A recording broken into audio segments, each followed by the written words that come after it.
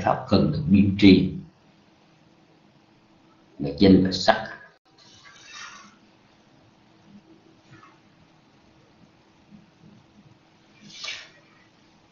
Danh sắc. Trong hai cái danh từ này, rất thường được nhắc đến ở trong Phật học ở trong đời sống của cái gọi là chúng sanh, con người, hay chư thiên, hay phạm thiên. Thân này đều được gọi là danh sắc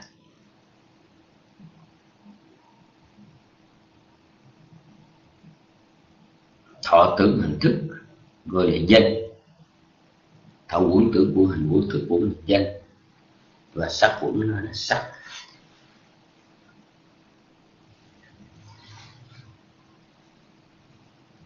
Để chúng ta biến tri được ừ, danh sắc, chúng ta hãy nghe cái bài kinh được trích dẫn.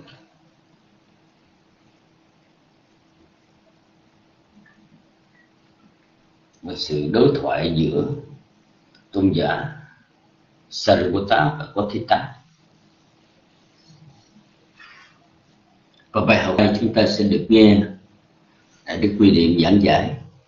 Bây giờ thì xin mời à, Phật tử, mời sư cô Khema đọc nghe chính kinh. Sau đó xin cung thỉnh đại được Quy Điện giảng cho bài học này. Nam Mô Bổn Thầy.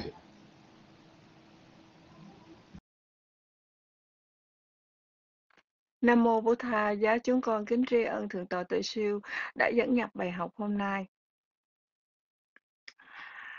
À, hôm nay đó là cái ngày Nhật Quỳnh à, làm tri chúng mà Nhật Quỳnh không có nhà. À, ngày hôm qua thì có nhờ à, Đại Đức Nguyên Thông đọc chánh kinh dùm.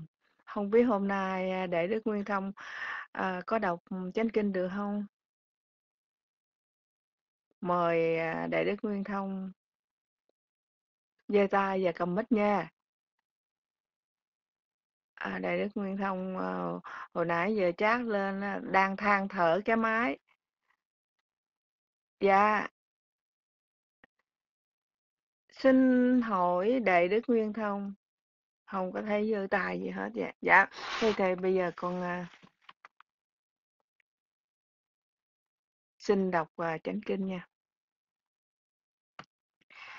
Có hai pháp, có hai pháp có nhiều tác dụng, có hai pháp cần phải tu tập, có hai pháp cần phải biến tri, có hai pháp cần phải đoạn trừ, có hai pháp chịu phần tai hại, có hai pháp đưa đến thù thắng, hai pháp rất khó thể nhập, có hai pháp cần được sanh khởi, có hai pháp cần được thắng tri, có pháp cần được tác chứng.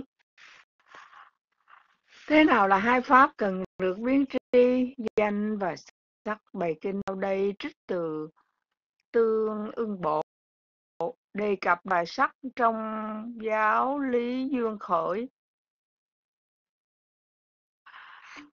À, số 7 là mã bó lao tạp đô 12.6 đô 2.81 một thời tôn tá và tôn giả Maha kutita trú ở Ba Rài tại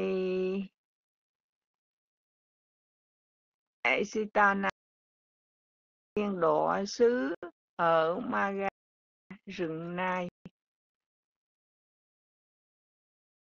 Rồi tôn giả Cô thì vào buổi chiều từ độc cư đứng dậy đi đến tôn giả Sariputta. Sau khi đến, nói lên với tôn giả Sariputta, chào đó hỏi thăm. Sau khi nói lên lời chào đó hỏi thăm thân hữu, bè ngồi xuống một bên.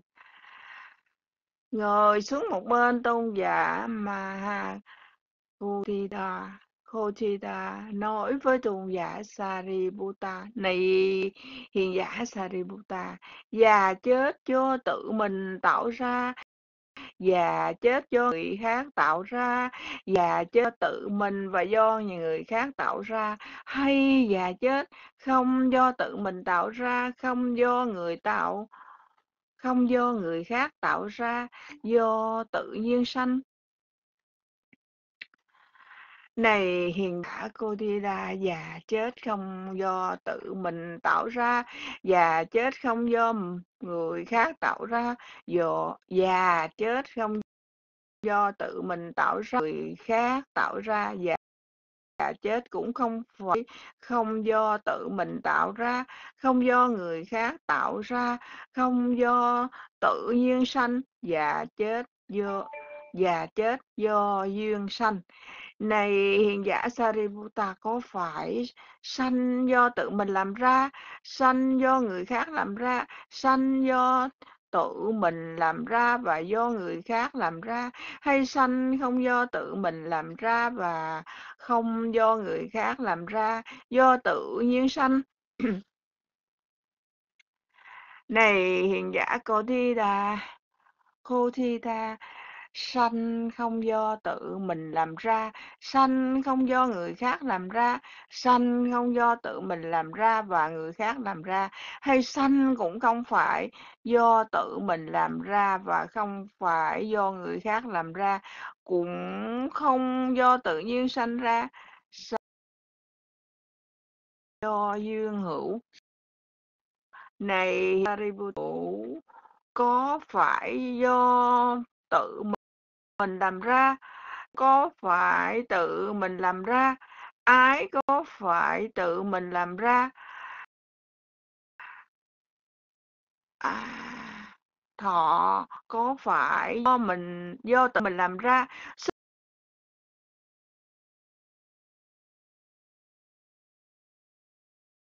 Có phải do tự mình làm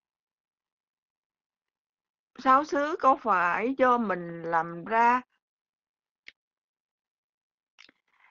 Danh sắc có phải do tự mình làm ra, danh sắc có phải do người khác làm ra, danh sắc có phải do tự mình làm ra và do người khác làm ra, hay danh sắc có phải không do tự mình làm ra và không do người khác làm ra, do tự nhiên sanh.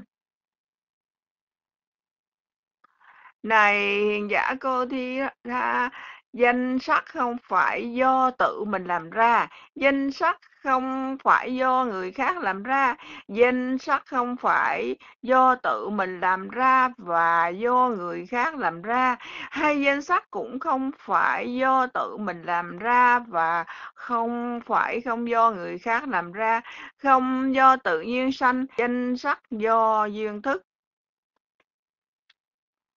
này hiền giả Sariputta có phải thức do tự mình làm ra, thức do người khác làm ra, thức do tự mình làm ra và do người khác làm ra? Hay có phải thức không do tự mình làm ra và không do người khác làm ra do tự nhiên sanh? Này hiền giả cơ thi ra tức thức không do tự mình làm ra, thức không do người khác làm ra, thức không do tự mình làm ra và không do người khác làm ra. Hay thức cũng không phải không do tự mình làm ra và không phải do tự người khác làm ra, không do tự nhiên sanh, thức do duyên thức do duyên danh sắc. Nay chúng tôi đã hiểu rõ lời của hiền giả Sariputta như sau. Này hiền giả Bodhidha, danh sắc không do tự mình làm ra, danh sắc không do người khác làm ra, danh sắc không do tự mình làm ra và không do người khác làm ra. Danh sắc cũng không phải không do tự mình làm ra và không phải do người khác làm ra không do tự nhiên sanh. Danh sắc do duyên thức.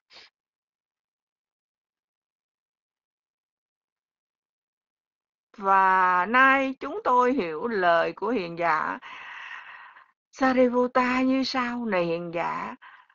Cô thi ra tức không do tự mình làm ra, không do người khác làm ra, không do tự mình làm ra và người khác làm ra cũng không phải do tự mình làm ra và không phải không do người khác làm ra, không do tự nhiên sanh, thức do duyên danh sắc này hiền giả Sariputta cần phải hiểu như thế nào về ý nghĩa lời nói này. Vậy này hiền giả, tôi sẽ nêu một thi một ví dụ. Nhờ có nhờ có ví dụ người có trí hiểu được ý nghĩa lời nói. Ví như hai bó lao dựa vào nhau mà đứng cũng vậy này, hiện giả do duyên danh sắc thức sanh khởi do duyên thức sanh, giác sanh danh sắc khởi sanh khởi do duyên sanh, danh sắc sáu xứ sanh khởi do duyên sáu xứ xúc sanh khởi như vậy toàn bộ khổ uẩn này tập khởi này hiện giả nếu một bó lao được kéo qua một bên, bó lao kia liền rơi xuống. Nếu bó lao kia được kéo lên một bên, bó lao này được rơi xuống cũng vậy này hiện giả do danh sắc diệt nên thức diệt do thức diệt nên danh sắc diệt do danh sắc diệt nên sáu xứ diệt do sáu xứ diệt nên xúc diệt như vậy là toàn bộ khổ uẩn này đoạn diệt thật vi vi diệu thai hiền giả Sariputta. Thật hi hữu thai hiền giả Sariputta. Lời nói khéo này của hiền giả Sariputta và lời nói và lời nói với 36 sự này của hiền giả Sariputta chúng tôi xin tùy hỷ. Hiền giả nếu một tỳ kheo thuyết pháp dễ nhàm chán, ly tham đoạn diệt già chết, thời đủ để gọi là vị tỳ kheo thuyết pháp. Này hiền giả nếu một tỳ kheo thực hành để để nhàm chán, ly tham, đoạn diệt và chết thời đủ để gọi là tỳ kheo tùy pháp hành. Niền giả nếu một tỳ kheo vô nhàm chán, ly tham, đoạn diệt vô minh được giải thoát, không có chấp thủ thời đủ để được gọi là tỳ kheo đã đạt được hiện tại niết bàn. Dạ thưa bà chánh kinh, đến đây đã chấm dứt. Chúng con xin kính cung thỉnh đại đức quy niệm từ bi thuyết giảng bài học hôm nay nam mô bổn thà cha.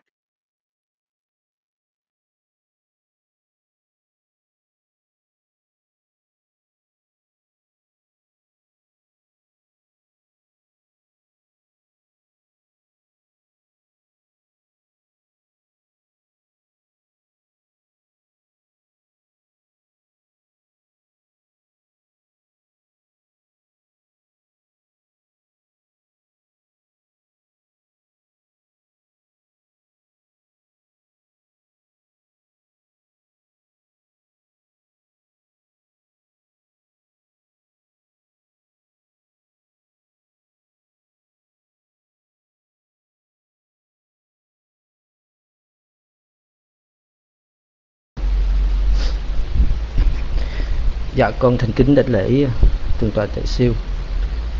Thượng tọa Giác Đẳng.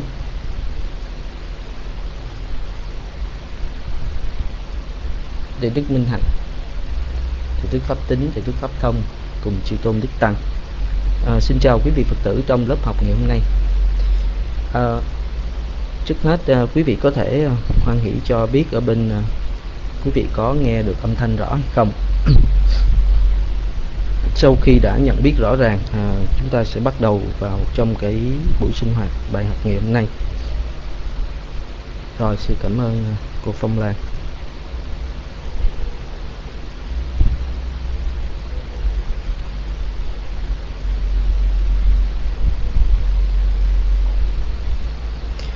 Thưa quý vị, hôm nay chúng ta sẽ học tiếp theo. Cũng trong à, phạm vi của bài kinh thập thượng uh, trong phần pháp hai chi đề cập đến uh, có hai pháp cần phải uh, được biến tri à, bari nhây giác thầm mát à, đó chính là nama và rupa à, tức là danh pháp và sắc pháp.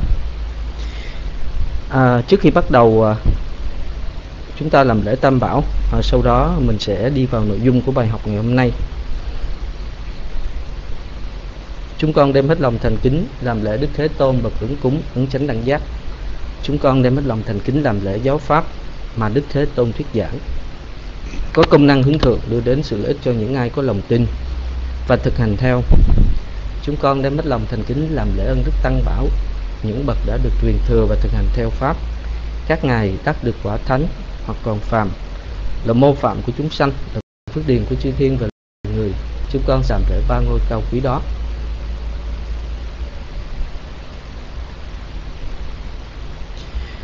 Thưa quý vị à, ở trong phần bài học hôm nay à, thiết nghĩ à, chúng ta đã nghe đến ừ, hai cái từ là danh pháp và sắc pháp à, rất là quen thuộc đối với những học viên A Tỳ Đàm. Tuy nhiên à, nếu mà thật sự à, chúng ta nhiệt tâm à, bỏ thời gian để mà bàn luận à, theo ờ, chiều rộng và chiều sâu thì thành thật mà nói ờ, có thể nói rằng ờ, cái việc học tập cũng như cái việc tu luyện để mà hiểu rõ về hai pháp này à, chúng ta bỏ ra cả một kiếp người à, có thể rằng chúng ta chưa có thấu triệt được hiểu biết được những khía cạnh à, của pháp này một cách à, rõ ràng đâu. Quả thực là như vậy thưa quý vị. À, trong cái cuộc sống ờ, mà chúng ta đang sống ờ, nó rất là đa dạng và rất phức tạp. Có rất nhiều điều mà chúng ta ừ, đã trải qua đã từng biết và có cũng có nhiều điều mà chúng ta chưa biết. Ờ, cho dù ở trong mỗi kiếp sống mà mình luân hồi hồi thưa quý vị à, trong những cái cặp nhau ừ, sanh là những, những chúng sanh à, cao cấp như là phạm thiên à, sắc giới vô sắc à, chư thiên dục giới chúng sanh nhân loại hoặc thậm chí là có những có những lúc, lúc chúng ta bị vào trong đoạn xứ. Điều đó chắc chắn rồi. Bởi vì à, trong 31 cõi thưa quý vị à, ngũ tịnh cư ra là những nơi dành cho ừ, những vị thánh a hàm ra cõi còn lại chúng ta đã đã có mặt có thể nói rằng là đầy đầy đủ hết. Mỗi kiếp sống đó thưa quý vị ờ, kể cả trong hiện tại này trên thế mình cũng có thể nhận thấy rằng mỗi người đều có một cái ờ, sự trải nghiệm một cái sự nhận biết à, riêng ở trong cuộc sống của chính mình. Và mỗi cái sự học tập để mà tìm hiểu về một vấn đề nào đó. À, nó đều có một cái lợi ích nhất thiết nào đó cho cái cuộc sống của chúng ta. Tuy nhiên à, nếu mà mình đặt một cái câu hỏi rằng à, phải chăng những cái vấn đề mà mình đi à, tìm hiểu mình đi xem xét mình đi học tập mình bỏ một cái khoảng thời gian của một kiếp người ra để mà mình đầu tư Ừ. để mà mình à, nghiên cứu mình trau dồi về cái sự hiểu biết về cái lĩnh vực đó rồi nó sẽ được cái gì? À, rồi nó sẽ có kết quả như thế nào? Nó cho chúng ta được cái gì? Và rồi nó sẽ ra sao à, trong tương lai? Thì thưa quý vị à, nếu như mà mình tự hỏi như vậy á, thì ờ, chung quy chúng ta mặc dù ở bất kỳ một cái cương vị nào dầu là giàu sang hay là hạ liệt dầu là mình ở trong cái cương vị của bậc trí thức hay là người vô học à, hoặc là những người làm à, công dân bình thường trong một cái ngành nghề một cái lĩnh vực nào đó để mà mình kiếm sống thì có thể nói rằng à, cùng lắm thì nó cũng chỉ coi như là đáp ứng cho mình về những cái điều kiện à, no đủ ở trong cái cuộc sống của mình thôi. Tuy nhiên chúng ta phải đối mặt với một thứ mà mình có thể nói rằng là ờ, hầu như ai cũng phải ừ, gánh chịu mà không thể nào mà chúng ta có thể chối bỏ được cái điều đó đó chính là vấn đề sanh tử. Đó chính là vấn đề sanh tử. Cho nên chính vì vậy mà ở trong kinh đó thưa quý vị à, à, đức thế tôn à, thường hay à, nói với các vị tỳ khu á, thường hay nói với các vị tỳ à, khi mà những vị tỳ khu đã tu tập những vị tỳ khu đã tu tập đã hoàn thành được, được cái phận của bậc xuất gia. Thì đức thế tôn ngài nói là à, vị ấy đã hoàn tất được cái đời sống à, phạm hạnh của mình. Và việc cần làm đã làm gánh nặng đã đặt xuống. Thưa quý vị à, qua cái điều này à, chúng ta có thể thấy rằng à, đối với à, cái đời sống mà tu tập đó thưa quý vị phải chăng? À, đó là một cái sự học hỏi. À, chúng ta bỏ ra cái thời gian để mà tìm hiểu soi xét nghiên cứu một cái vấn đề gì đó. Và thông qua điều đó nó có thể đáp ứng cho mình giải quyết được một cái cái lĩnh vực nào đó ở trong cái cuộc sống mình. Thưa quý vị quả thật là như vậy nó giải quyết được cái vấn đề sanh tử của chính bản thân mình. Đó là cái mục tiêu đó là cái đích của của việc tu tập của đời sống phạm hạnh. Và à, nó đạt được cái à, cái sự hiểu biết à vượt trên cái những cái sự hiểu biết thông thường mà như ở đời sống à, của chúng ta à, chúng ta từng trôi lăn chúng ta đã từng học hỏi nhiều ngành nghề à, nhiều lĩnh vực rất là nhiều. Cho nên ở đây à, quay trở lại vấn đề à, chúng ta thấy rằng à, ở trong bài kinh này á ngày xá lợi phất ngài à, nói đến à, có hai pháp cần phải biến tri. Tại sao các vị ấy không đề cập đến những cái việc khác cần phải biến tri. Chẳng hạn như là à, có những ngành nghề nào đó lãnh vực nào đó thuộc về thế sự cần phải biến tri. Nhưng mà um, cần phải biến tri. Hai pháp đó chính là danh pháp và sắc pháp. Nó có cái ý nghĩa của nó thưa quý vị. Bởi vì khi mà biến tri được những vấn đề khác đó thưa quý vị khi mà mình học hỏi mình biết rõ về những vấn đề khác đó nó không giải quyết được vấn đề sanh tử cho mình. Nó không giải quyết được cái cái khổ mà lớn nhất của đời sống con người. Ngược lại nếu như mà mình xem xét à, mình học tập mình bỏ thời gian ra mình nghiên cứu về danh pháp và sát pháp thì nó sẽ cho mình được cái khác. Nó cho mình được cái kết quả rất là lớn. À, đó chính là mình giải quyết được cái vấn đề sanh tử của bản thân. Và ngay trong hiện tại à, chúng ta thoát được à, những cái phiền toái những cái lộng hoặc à, nó làm vốn sanh khởi làm ô nhiễm và làm nóng bức à, nội tâm của chính mình. Thưa quý vị à, đầu tiên à, chúng ta có mình tìm hiểu sơ một chút về như thế nào được gọi là danh pháp và sắc pháp.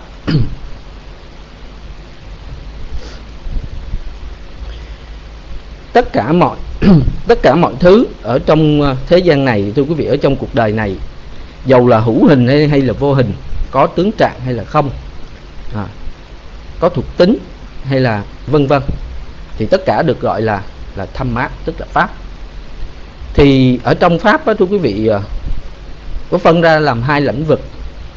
Đó chính là thứ nhất là pháp pháp thực tính sắp pha quá hay là paramattha ừ. và thứ hai là là pháp chế định pháp quy ước à, tí thầm mắt trong pháp tính à, đó chính là những pháp nó có tướng trạng nó có thực tính rõ ràng. Thì pháp thực tính được phân ra làm hai thưa quý vị được phân ra làm hai thể loại. Đó chính là nam á và thứ hai là Rupa. Á còn được gọi là danh pháp. Thì danh pháp ở đây thưa quý vị à, nếu nói cho chính xác đó, à, đó chính là pháp trừu tượng phi vật chất. Aru arupa à. pháp này là pháp trừu tượng phi vật chất. Nó gồm có hai phần. Nó gồm có hai phần quý vị là những uh, ai những là những uh, học viên đã từng học Atidam thì chúng ta sẽ hình dung rất là nhanh. Ừ, chúng ta sẽ hình dung rất là nhanh theo cái bản nêu chi pháp. Danh pháp nó có hai phần thưa quý vị. Phần thứ nhất là là danh pháp vô vi. Danh pháp vô vi. Đó chính là ám chỉ niết bàn. Danh pháp vô vi. Và thứ hai là danh pháp hữu vi bao gồm tâm và và sở hữu tâm. Còn à, rupa rupa tức là à, những pháp có thực tính nó thuộc về hệ vật chất. Nó thuộc về hệ vật chất gồm có 28 thì trong số 28 sắc ừ, pháp này á nó có bốn pháp. À bốn pháp được gọi là sắc đại hiển bởi vì nó là nền tảng của tất cả mọi sắc pháp. Ừ. Nó là cái nền tảng chủ chốt chủ yếu của tất cả những sắc pháp. Còn lại 24 sắc pháp còn lại á, là nó tùy thuộc dựa vào bốn cái sắc đại hiển, tức là đất, nước, lửa, gió, để mà nó nó hình thành, để mà nó hình thành. Chính vì vậy mà nó có một cái tên gọi là sắc sắc y đại sinh.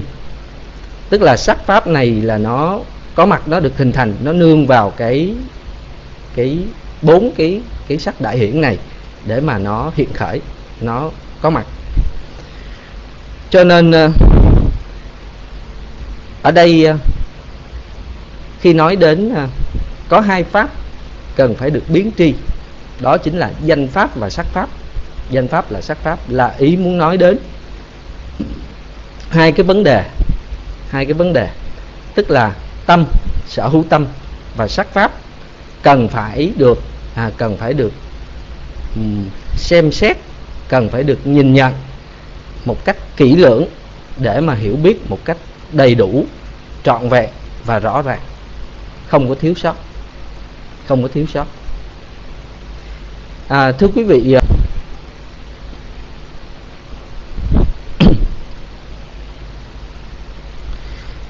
thoạt nhìn à, ở trong cái à, những cái tiêu đề của bài kinh thập thượng á chúng ta có thể à, nhìn ra được à, ngài Sariputta ngài à, phân ra những cái cái tiêu đề. Nó có một cái đạo lộ à, nó có một cái hình thức của một cái sự tu tập của cái sự tu tập. Từ những pháp mà nó có nhiều cái tác dụng lợi ích những các pháp cần phải bồi bổ tiến tu. À, và những pháp cần phải quan sát ghi nhận để mà hiểu biết một cách trọn vẹn rõ ràng. À, cho đến những pháp cần phải từ bỏ vân vân. Và cuối cùng là đến những pháp cần phải tác chứng. Cho nên à, à chính vì vậy mà à, chúng ta thấy rằng trong cái lĩnh vực mà của việc nghiên cứu để mà học hỏi trong cái quá trình tu tập để mà đạt được về một cái sự hiểu biết. Thì thưa quý vị à, chúng ta à, phải dành thời gian à, dành thời gian để mà quan sát để mà xem xét à, cái bản chất của danh pháp và sắc pháp nó thực chất nó là cái gì? À, nó thực chất nó là cái gì? Nó có cái sự diễn hoạt ra sao? Nó có sự, sự diễn hoạt ra sao. Và nhân duyên sanh khởi của nó như thế nào? Nhân duyên sanh khởi như thế nào? Và cũng như cái tướng trạng à, cái lắc nát của riêng và chung à, của pháp đó nó như thế nào? Thưa quý vị à, này á có thể nói rằng à, ở trong cái à, từ mà được gọi là à, biến tri giá. Đây là một cái sự uh, hiểu biết thông qua cái trí tuệ xem xét dò xét thẩm nghiệm à, không phải bằng những cái sự hiểu biết thông thường theo như cái tri thức à, đời thường mà chúng ta sử dụng để chúng ta có thể hiểu được như là những cái môn học ở thế sự bởi vì nó không có thuộc về lãnh vực à nó không có thuộc về lãnh vực để cho những cái sự hiểu biết thông thường có thể biết được một cách rõ ràng. Khi nói về, thì à, pháp thực có cái quy trình à, tu tập của à, tuệ quán thì ờ, chúng ta mới có thể xem xét chúng ta mới có thể biết được. Cũng như cái duyên nhân duyên sanh ra sao cũng cùng cái sự hoạt động của nó. Mình không thể ngồi mà mình suy nghĩ à, mình không thể mà ngồi mà mình suy nghĩ ra được.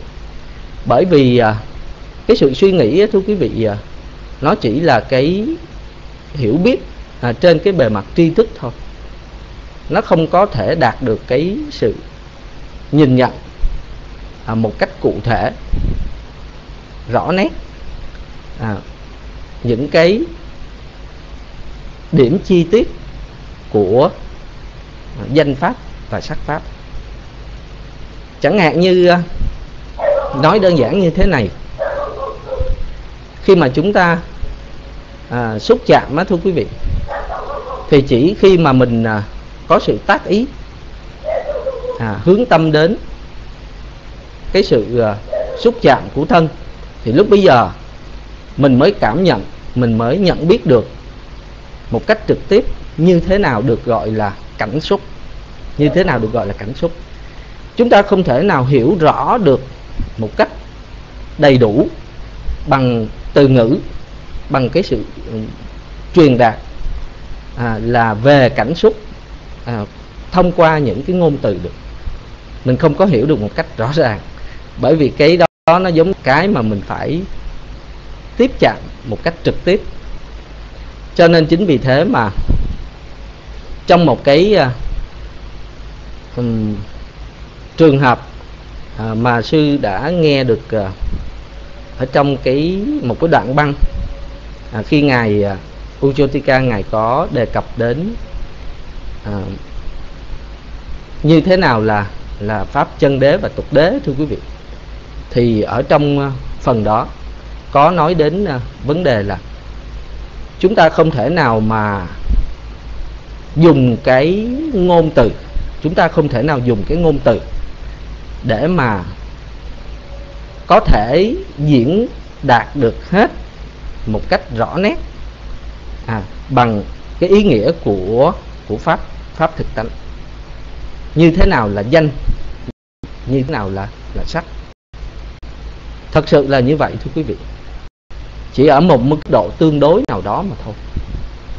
Chứ còn à, trên lĩnh vực à, để có được cái sự hiểu biết rõ ràng này thì đòi hỏi à, mỗi người của chúng ta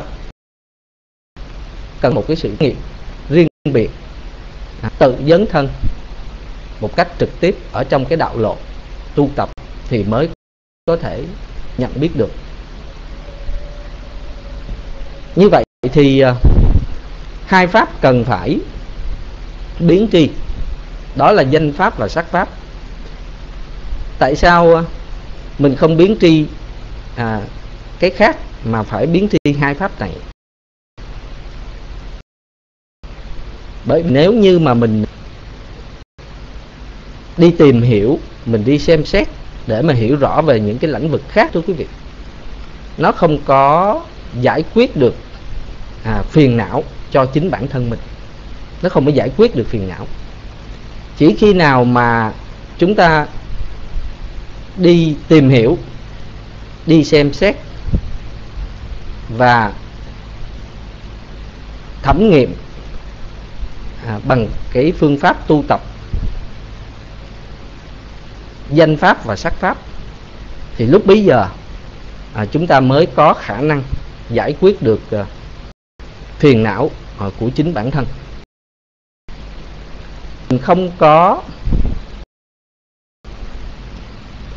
hiểu biết được trọn vẹn như thế nào là là danh pháp và sắc pháp của bản thân mình đó thưa quý vị hay nói một cách khác đó là thân tâm. Hay nói cách khác là thân tâm. Thì lúc bấy giờ thưa quý vị cái cái con đường diễn hoạt của tâm thức của mình đó, nó chỉ có tăng trưởng thêm à, nó chỉ có tăng trưởng thêm cho ái nó chỉ có tăng trưởng thêm mà thôi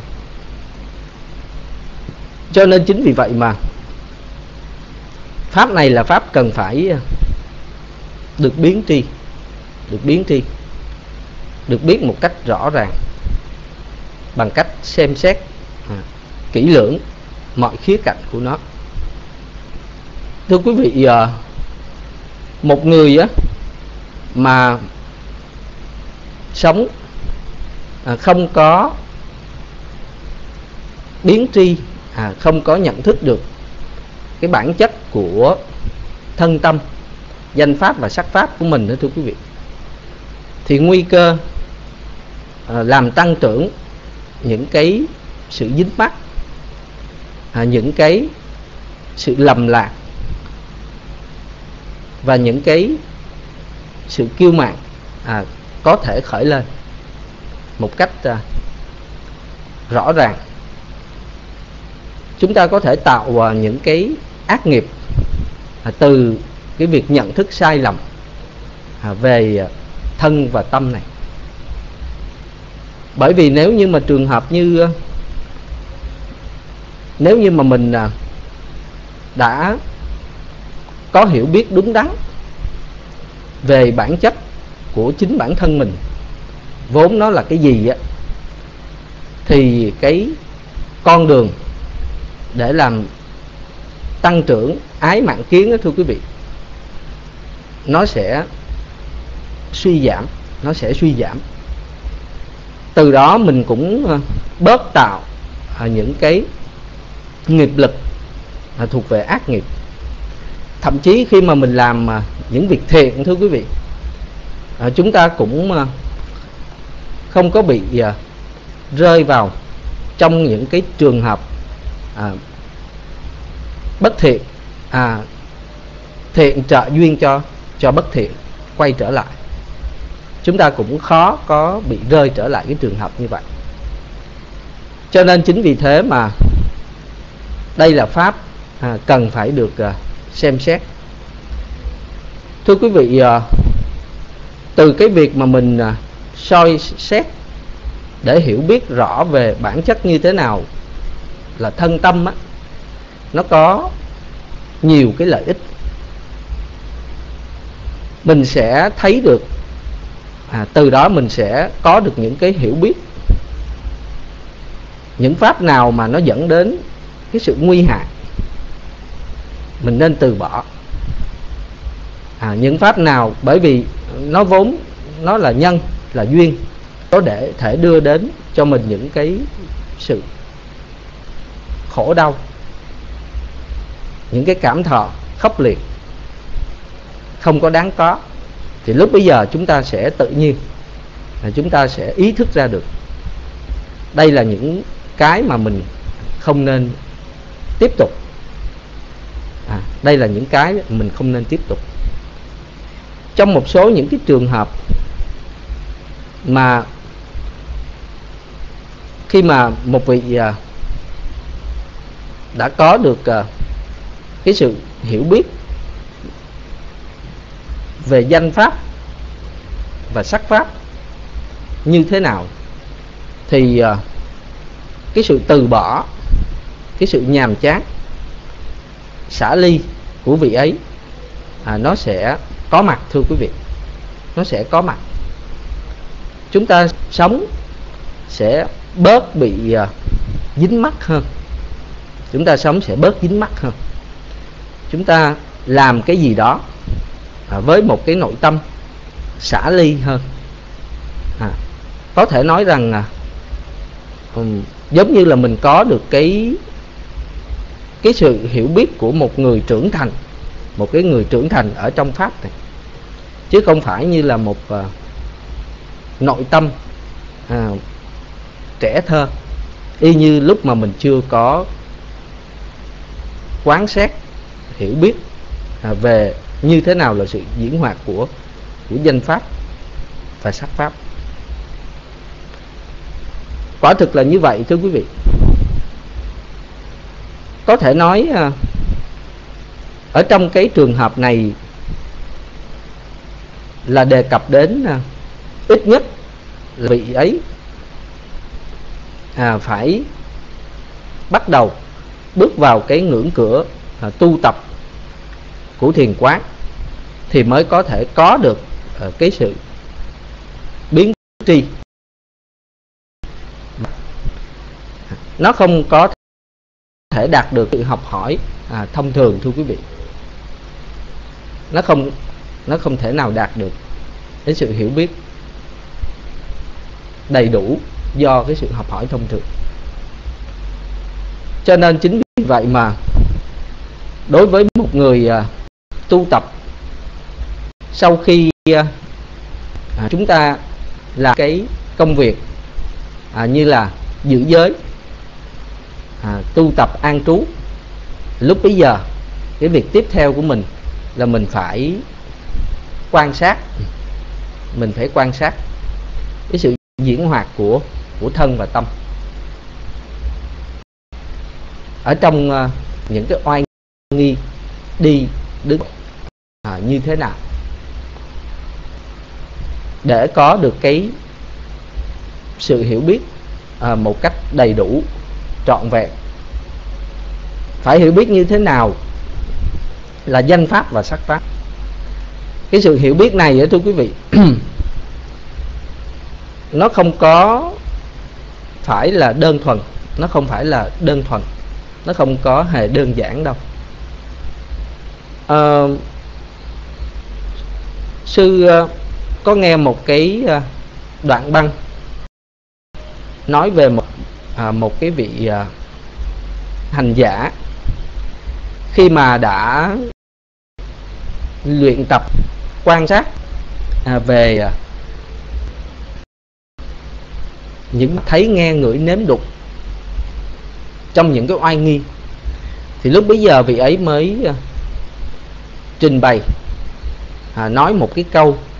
Thật ra cái câu đó đó cái người ngoài kể cả bản thân sư à, mình nghe cũng rất khó hiểu.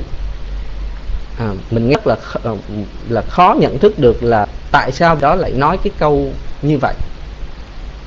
Sau khi vị đó tu tập một cái thời gian á thì vị ấy à, thốt lên một cái cái lời à, cảm thán là ô thật là lạ lùng.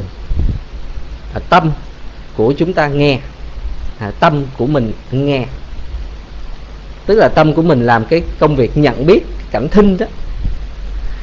Thì à, cái điều này á thưa quý vị à, nếu mà nghe qua thì chúng ta thấy nó rất là ừ, ừ, bình thường. À, nó rất là bình thường bởi vì chuyện này thì hầu như ai cũng biết hết ai cũng biết hết. Thì dĩ nhiên là một người khi mà có tai à, có âm thanh thì cái việc nghe thì nó, cái chuyện này nó quá bình thường rồi. Bây giờ mình đi ra mình hỏi ai thì ai cũng ừ, có thể trả lời được. Ồ, cái chuyện này là cái chuyện lãng nhách không có đáng gì hết mà phải là bỡ ngỡ cả. Nhưng mà trong cái trường hợp của vị hành giả đó, thưa quý vị, lại à, trình bày với cái vị thầy là ô thật là lạ lùng. Tâm nghe tâm nghe thì thưa quý vị ở trong cái trường hợp đó, đó theo như ờ, cái sự ờ, nhận định à, theo theo như cái sự nhận định của sư thôi thì sư đoán như thế này. Tức là vị đó nói lên điều đó là muốn ám chỉ đến là lần đầu tiên vị đó nhìn ra thấy được một cách trực tiếp về tâm nhị thức khi mà nó làm cái phận sự hay biết cảnh thinh một cách trực tiếp chứ không phải là một cái sự nghe bằng một cái vô ý thức à, như là một người bình thường. Vì đó nghe bằng cái cái sự quan sát bằng cái sự hiểu biết. Lúc bây giờ vị đó cảm nhận được trực tiếp như như thế nào là ý thức như thế nào là nhĩ thức? Và tương tự như vậy đối với các căn khác.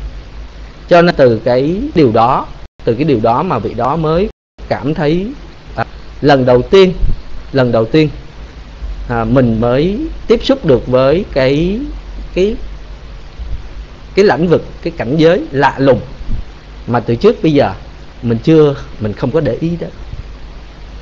Cho nên chính vì vậy mà đối với à, việc tu tập đó thưa quý vị à, chúng ta tiếp xúc với thấy nghe ngửi nếm được mỗi ngày. Nhưng mà kỳ thực mà nói mình hiểu biết không có nhiều về những điều này. Cái mà chúng ta biết á, về những pháp này á, thưa quý vị nó có thể nói rằng nó không nó nó đi kèm theo ái mạng và kiến nó không đúng với cái tướng trạng thực tánh của nó. Và chúng ta không có thấy được đúng hết những cái khía cạnh của những pháp đó. Với những cái thuộc tính riêng biệt của danh pháp, sắc pháp là như thế nào. Và cũng như đặc biệt là tam tướng của danh pháp và sắc pháp.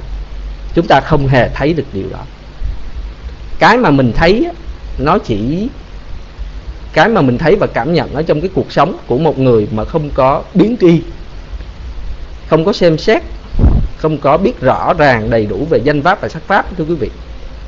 Nó chỉ là những cái thấy lầm lạc mà thôi.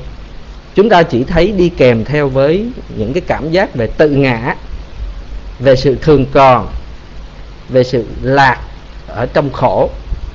Và mình thấy cái sự tốt đẹp à ở trong cái điều không có, thật sự là tốt đẹp gì hết đối với pháp hữu vi. Mình thấy không có đúng theo cái cái thực tánh chung của của danh pháp và sắc pháp. Cho nên chính vì thế mà khi mà một vị à, mà bắt đầu tu tập để mà thấy được à, như thế nào thật sự là danh pháp và sắc pháp đó thưa quý vị? Thì có thể nói rằng à, cái trí tuệ và niệm của vị ấy nó bắt đầu nó hoạt động nó bắt đầu nó sanh khởi. Và một khi có được cái sự nhận biết về điều đó thì từ từ từ từ à, từ từ từ từ càng biết rõ nhiều về danh pháp sắc pháp nhiều khía cạnh của nó bao nhiêu, thì lúc bấy giờ, cái nội lực về tâm từ bỏ viễn ly, không có dính mắt của vị ấy, nó mạnh hơn bấy nhiêu. Nó càng mạnh hơn bấy nhiêu, thưa quý vị. Mình không có tu á, mình không có biết rõ, mình không có quán xét, mình không có biết rõ. Lúc nào mình cũng thờ ơ, mình không có thấy rõ về không có ăn trú, thấy rõ, hiểu biết rõ ràng về danh pháp, sắc pháp, về thân, về tâm thì con người của mình rất là dễ bị phiền não, thưa quý vị. Hễ đụng một chút gì tí xíu là chúng ta sẽ khởi lên phiền não ngay lập tức, trong việc thấy nghe ngửi nếm đụng. Nhưng mà đối với một người mà trong một cái tư thế mà nội tâm vị ấy luôn luôn à, có sự biến tri, hiểu biết rõ ràng à, một cách trực tiếp về danh pháp và sắc pháp thì nội tâm vị ấy rất là kiên cố. Rất là kiên cố. Vị ấy à, nghe thì chỉ biết nghe mà thôi. Mặc dầu vẫn hiểu được ý nghĩa của của lời nói vị ấy nhìn thì chỉ thấy mà thôi. Mặc dù vị ấy vẫn biết là vị ấy nhìn thấy cái gì vị ấy ngửi nếm đục và cũng như suy nghĩ cũng vậy và có một điều hay như thế này thưa quý vị à. thật ra trong một cái khoảng thời gian mà chúng ta chúng ta hay bị tu tập hay bị một cái cái chướng ngại. Trong cái việc mà mình quán xét về thân tâm mình hay bị một cái chướng ngại là à, phần lớn à, chúng ta hay bị à, phóng dật. À, chúng ta hay bị phóng dật chúng ta hay bị suy nghĩ nhiều thứ và những cái suy nghĩ nó không có cần thiết nhưng mà chúng ta vẫn vẫn vẫn bị. Nhưng mà một khi à, nó đã đi vào trong cái quy trình nó đã đi vào trong cái quy trình của sự quán xét rồi đó lúc bây giờ thưa quý vị do năng lực của niệm và trí thì cái những cái tư tưởng những cái suy nghĩ về những điều không cần thiết tự nhiên nó sẽ có dường như là nó bị đình chỉ trở lại nó bị đình chỉ nó không có khởi. À nó không có khởi. Chỉ những cái gì suy nghĩ mà cần thiết thì lúc bây giờ chúng ta mới suy nghĩ mà thôi. À, thật sự là như vậy thưa quý vị. Ít có bị phóng tâm ít có bị suy nghĩ lung tung lắm. Điều này nó có xảy ra nó có xảy ra. Bởi vì do năng lực của của thiền quán do năng lực của của niệm à, và trí tuệ nó giữ cho tâm của vị ấy ở trong cái phạm vi phạm vi cái lãnh vực của vị ấy. Còn chúng ta không có không có um, niệm và trí không có ở trong cái luôn luôn ở trong cái cái tình trạng để mà um, sẵn sàng dò xét về danh pháp và sắc pháp thân tâm ấy, thì lúc bây giờ chúng ta thường xuyên hay bị phóng tâm có những cái suy nghĩ mà tự nhiên mà mình không biết tại sao mà mình suy nghĩ như vậy không biết tại sao mà mình suy nghĩ như vậy. Dường như mọi thứ và dường như mọi thứ nó rối tung lên. Nó rối tung lên. Nó rối tung lên. Nó giống như là một cái căn nhà mà đồ đạc nó rất là lộn xộn. Chúng ta không thể nào kiểm soát được à, những cái thứ gì ở trong đó. Chúng ta không kiểm soát được thưa quý vị. Còn à, khi mà mình biến tri à, biết rõ ràng xem xét về danh pháp và sắc pháp thì à, do năng lực của của thiền à, thiền quán nó sẽ giữ cho nội tâm của vị ấy dường như là đi vào trong một cái trật tự dường như là đi vào trong một cái trật tự. Chúng ta sẽ ít có suy nghĩ lung tung hơn ít có suy nghĩ lung tung hơn. Những cái cái điều mà không cần thiết thì mình không có suy nghĩ kể cả trong cái việc tiếp xúc của mình đó, thưa quý vị đối với mọi người thì mình cũng không có dễ dàng bị khởi lên phiền não. Mình không có dễ dàng bị khởi lên phiền não. Mình nghe người khác nói mình ít có bị chấp trước vào cái lời nói của người khác. Bởi vì tại sao thưa quý vị cái chuyện này nó cũng hợp lý thôi. Sở dĩ mà mình ưa có cái sự chấp trước đó, trong việc thấy nghe ngửi nếm đục vân vân. Là do mình suy nghĩ là có người này người kia nói mình như thế này như thế nọ. Nó chỉ đơn giản như vậy thôi. Nhưng mà khi mà mình ở trong cái quy trình của việc thấy các pháp nó diễn hoạt à, bản chất nó chỉ là danh pháp và sắc pháp. Và có nhân có duyên của nó. Và từng pháp nó đến nó sanh khởi và nó diệt mất. Thì lúc bây giờ thưa quý vị nó không có lý do nào để cho mình phải níu giữ một cái vấn đề gì ở trong tâm mình. Và chúng ta lướt đi y như là mình lướt ván ở trên sóng đó thưa quý vị. Những người khách à, giống như là những người mà ừ, ừ, quý vị có từng từng đi xe buýt ở Việt Nam chưa? Có những người có những người mà đón khách đó thì người ta gọi là những người lơ xe. Cái công việc của cái anh lơ xe nó rất là đơn giản. Ảnh không bao giờ ảnh níu giữ ai hết ảnh chỉ có việc coi như là làm công việc của ảnh. Khi có khách thì ảnh nắm tay ảnh dẫn lên ảnh níu lên. Và khi khách xuống thì ảnh thả xuống đến và đi. Cứ như vậy công việc của ảnh nó rất là uh, đơn giản chứ ảnh không có phải bận lòng. À, ảnh không có phải bận lòng đối với à, cái ông khách này à, không cho lên vì lý do như thế này như thế nọ không. Thứ hai là khách muốn lên thì xe dừng lại. Công việc của ảnh là đón khách lên. Và khi có khách muốn xuống ảnh nhả xuống. À, điều đó như thế nào thì đối với cái hành trình cái hành trình của tâm lý của một người à, tu tập khi mà mình biết rõ càng nhiều những khía cạnh về danh pháp và sắc pháp à, bao nhiêu thì cái sự buông xả thưa quý vị cái sự buông xả đối với đời sống sinh hoạt của mình nó càng cao nó càng cao. Và cái thái độ tâm lý của chúng ta của vị hành giả đó nó sẽ phát triển nó sẽ có một số những cái triệu chứng à, từ đó à, vị đó nhàm chán vị, vị đó nhàm chán. Vị đó không có ham muốn à, không có thỏa thích à, đối với cái việc à, có mặt sanh khởi của pháp hữu vi. Đó.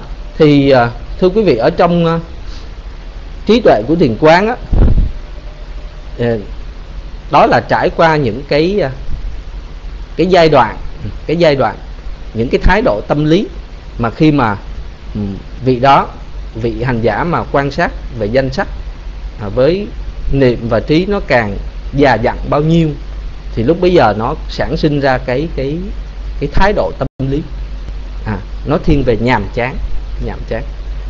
Và cuối cùng à, cuối cùng đối với cái đỉnh cao của trí tuệ phàm phu thưa quý vị tức là cái cái khả năng cái khả năng của lãnh vực phàm phu à, đó chính là hành xả. Hành xả trí. Cái sự buông xả rất là cao thưa quý vị. Ở cái mức độ đó phải nói rằng à, vị ấy có được cái cái công lực của niệm và tỉnh giác cũng như trí tuệ về quán xét về danh pháp sắc pháp rất là mạnh rất là mạnh.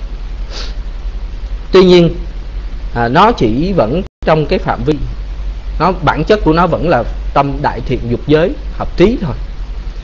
Cho nên chính vì thế mà nếu như mà mình không có nỗ lực để mà bứt phá vượt qua cái phàm chủng á, thì chúng ta vẫn có thể bị quay trở lại.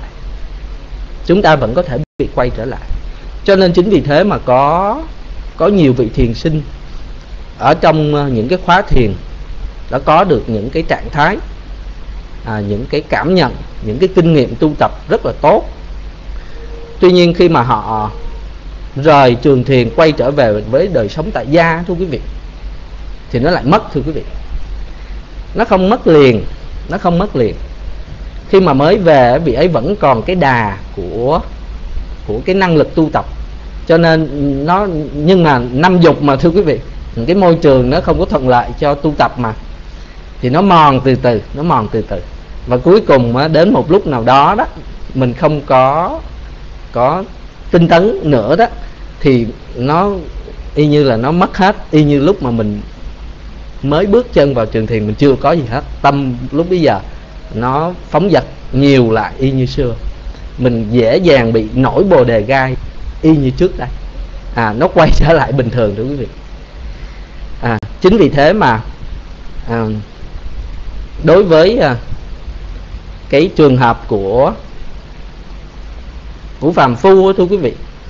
À, chúng ta tu tập à, có những lúc mình có được những cái trạng thái à, những cái hiểu biết về bản chất của các pháp rất là tốt rất là tốt. Do cái sự nỗ lực đúng đắn của bản thân và có cái sự hướng dẫn của vị thầy. À, nhưng mà à, nếu mà chúng ta vẫn không có vượt qua được cái cái ranh giới của phàm phu á, để đạt đến được cái cái dòng chảy của bậc thánh à, nhập vào cái phần dự lưu dự lưu phần thì lúc bây giờ mọi thứ vẫn có thể quay trở lại như trước. Vẫn có thể quay trở lại như trước. Chúng ta vẫn có thể bị trôi vào trong những cái trạng thái là lầm lạc hiểu biết sai đối với danh pháp và sắc pháp y thường. Y như thường tuy nhiên, có một điều đặc biệt như sau. Là những điều mà mình đã từng tu á, mình đã từng có, thật ra nó không có hoàn toàn, nó mất đi đâu. Nó vẫn là pháp thiện, nó vẫn là công đức, nhưng mà nó bị vùi lấp bởi các pháp phiền não thôi. Chúng ta khi mà mình có một một một ngày nào đó, một lúc nào đó, hoặc một kiếp nào đó, chúng ta gặp được những cái nhân duyên để mà trợ giúp lấy lại được cái cái đà để mà tu tập trở lại thì những pháp đó nó sẽ vẫn là nhân là duyên để mà dễ dàng à, làm cho khởi sanh thiện pháp à, cũng như những pháp quán tu tập mà sanh khởi tiếp theo. Nó vẫn nó vẫn có cái để lại cái chủng tử của nó thưa quý vị. Chứ không phải là hoàn toàn không không có gì hết không có gì hết. Cho nên chính vì thế mà à, đối với à, trường hợp mà ở trong à, bài học này á thì à, ngài xá lợi phất ngày à, đề cập đến là có hai pháp có hai pháp cần phải được biến tri cần phải được xem xét hiểu biết một cách đầy đủ. Chẳng qua là một cái quá trình tu tập của một người muốn chuyển đạt từ phàm sang thánh thì bắt buộc à, vì đó phải phải biến tri phải biến tri phải hiểu biết đạt được cái sự hiểu biết một cách rõ. Không còn có cái sự lầm lạc đối với danh pháp và sắc pháp nữa. À, danh pháp là sắc pháp pháp hữu vi là là vô thường thì vị đó hiểu biết đúng theo cái tướng trạng của nó chứ không có hiểu biết sai cho nó là thường còn à, pháp hữu vi là khổ thì vị đó hiểu biết đúng theo cái tướng trạng của nó chứ không có hiểu biết lầm lạc đó là lạc. Và pháp hữu vi đó là pháp cấu thành bởi nhiều nhân duyên trợ tạo à, là vô ngã. Vì đó hiểu biết đúng theo tướng trạng của của của nó chứ không có nhìn nó thấy nó theo cái ý nghĩa của vô ngã nữa. À, đó là cái ý nghĩa của cái bài học hôm nay à, mà chúng ta học. À, hai pháp cần phải được biến tri đó chính là danh pháp và sắc pháp. À, con xin chấm dứt ở đây và bây giờ thì à, phần còn lại à, con kính cung thọ giác đẳng à, cùng với sư phụ tuệ siêu sẽ điều hợp phần thảo luận trong bài học ngày hôm nay cùng với sư tăng năm mô a giá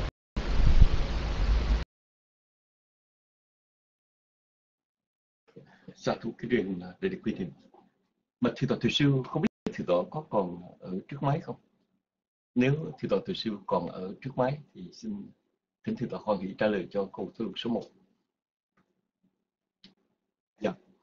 Và thưa tọa tự sư đối với nhiều người đó, thì danh sắc chỉ đơn thuần tâm thức và vật chất thôi.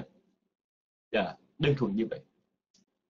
Nhưng mà uh, chúng ta thử đặt một câu hỏi là tại sao Đức Phật không nói rằng thức duyên cho lục nhập mà ngài lại nó dạy rằng thức duyên danh sắc rồi danh sắc duyên cho lục nhập.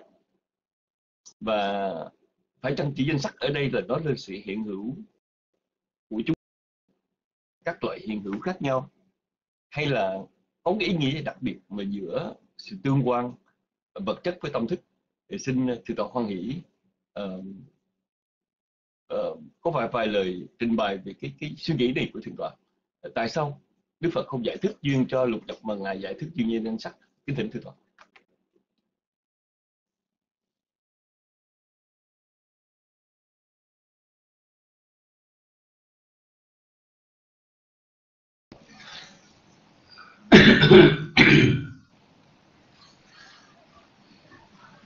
anh là một bậc thầy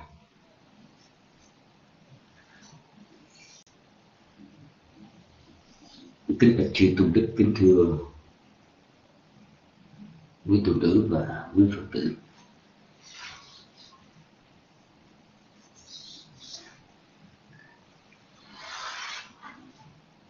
Khi mà nói đến giáo lý dư khởi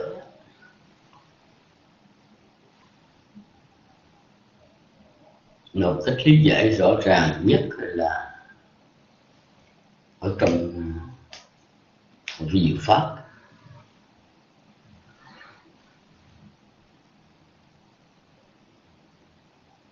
Để chúng ta trả lời cái vấn đề này.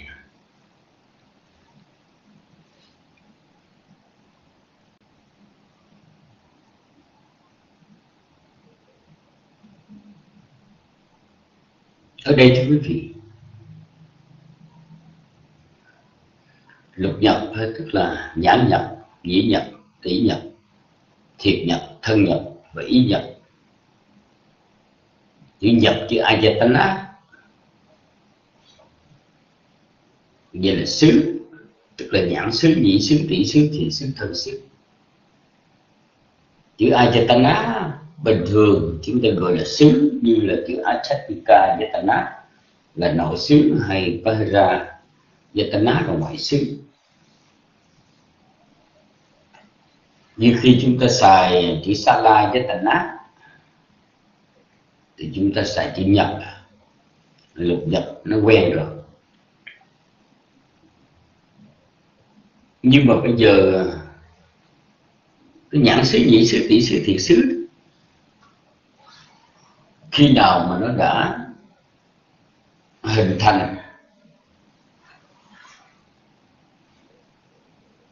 để trở thành một cái à, cơ quan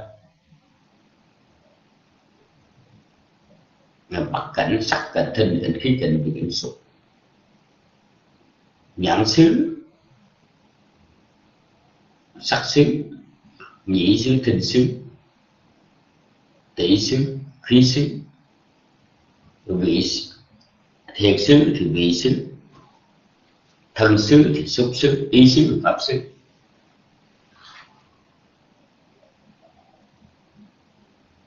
Còn khi mà chúng ta nói đến à, thức, thì ở đây chỉ mới là thức quẩn thôi cho nên ờ, khi mà vô minh duyên hành hành nhân thức, thì lúc bây giờ nó chỉ là quả thức tục sinh. Khi mà thức quẩn đó, nói duyên với danh sắc là gì? Tức là thức quẩn quả, nó duyên cho thọ quẩn quả tưởng quẩn quả, hành quẩn quả. Ở trong cùng một cái sắc na à, tâm tục sinh đó. Đồng thời vào cái thời điểm tục sinh nếu cõi này là cõi ngũ quẩn á, thì quẩn quả đó nó cũng trợ duyên cho cho sắc nghiệp tục sinh tục sinh. Cho nên khi mà khởi đầu của kiếp sống thì ở đây thức phải duyên cho danh sắc cái đã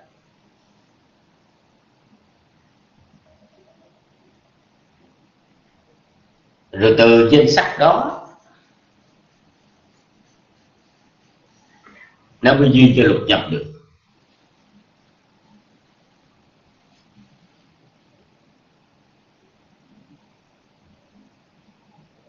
Cho nên chúng ta nói, cũng ví dụ như cái rễ cây nó nuôi cái thân cây. Rồi thân cây nó mới phát triển ra cái nhánh cây. Ờ, và từ cái nhánh cây đó nó mới ra được cái lá, hoa và trái.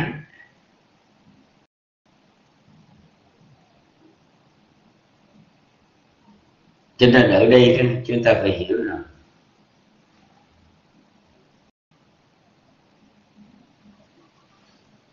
danh sách là cái điểm khởi đầu.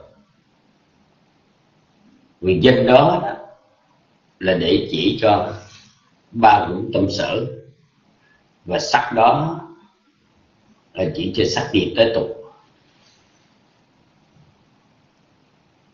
À, ba quận quả tâm sở họ tưởng hành thì nó do thức quẩn quả phục sinh. Nó trợ duyên. Bằng cách là phô sinh duyên tương duyên ngũ tương duyên. Rồi à, thức của quả đó nó cũng trợ cho danh ấy nó trợ cho sắc sắc nghiệp tới tục. Cái sắc nghiệp lúc bây giờ thưa quý vị nếu mà nói rằng thức duy trên sắc à, nói thức duy trên lục nhập đó, thì như vậy nói không có trọn vẹn cho nên đức phật ngài không có thuyết như vậy. Tại sao không trọn vẹn? Là bởi vì ở đây thí dụ như bây giờ ở cái loài thai xanh noãn xanh thai xanh thấp xanh đô thị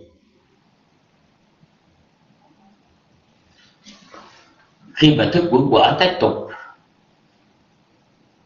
nó khởi đầu vào cái sắc ra tục sinh ở lúc đó.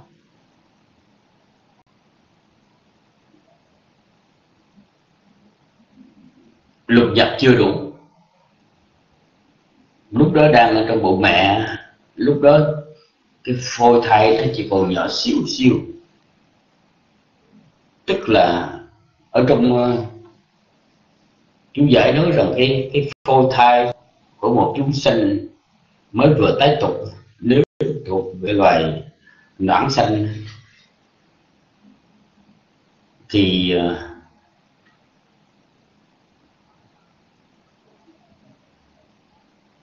nó chỉ mới có danh sách tự hình thôi tự hình danh sách và nó nhỏ đến mức nó chỉ là một chút.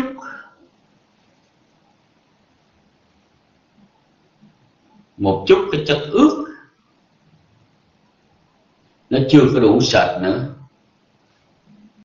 Cái chất ướt đó cũng giống như là, nó ví dụ nó nhỏ như là cái đầu một tranh mà nhúng vào dầu mè. Mà rảy bảy lần như vậy thì còn một chút ướt lại trên đầu bộ cổ tranh đó là cái phô thai lúc đó, danh sắc lúc đó. Cho nên à, nếu trong trường hợp này mà nó thức duyên cho lục nhập thì lai bởi vì lúc đó chưa có đủ lục nhập thưa quý theo trong à, cái sự diễn biến của sắc pháp và rupa và tikva thì vừa tới tục nó chỉ có bọn thần tinh thân bộ sắc in vật và sắc giới tính thôi chỉ có ba bọn ba bọn sắc nghiệp thôi một tuần lễ sau, bất định thời gian, lúc đó nó sẽ có xuất hiện cái bộ sắc mạng quyền. rồi 11 tuần lễ sau thì nó mới tự hình nó thêm bốn cái sắc thần kinh nữa. Thần kinh giãn thần kinh nhĩ, thần kinh tỷ thần kinh thiệt. Và bắt đầu nó được nuôi lớn lên. Thì cho đến khi mà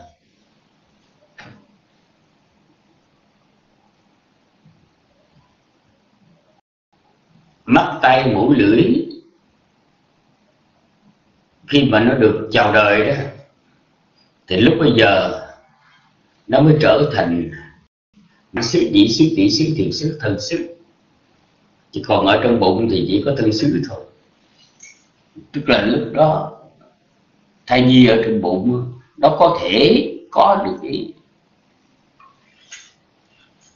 thân thức, khi người mẹ ăn vào khai nóng hay là uống lạnh, thì cái thân thức của đứa bé, cái hài nhi, cái cái thai nhi đó nó chịu ảnh hưởng nó nó khó chịu hay là nó dễ chịu được vợ quậy thôi nhưng mà lúc đó thì hoàn toàn là thần kinh giãn thần kinh nhĩ thần kinh tỷ thần kinh thiệt đó.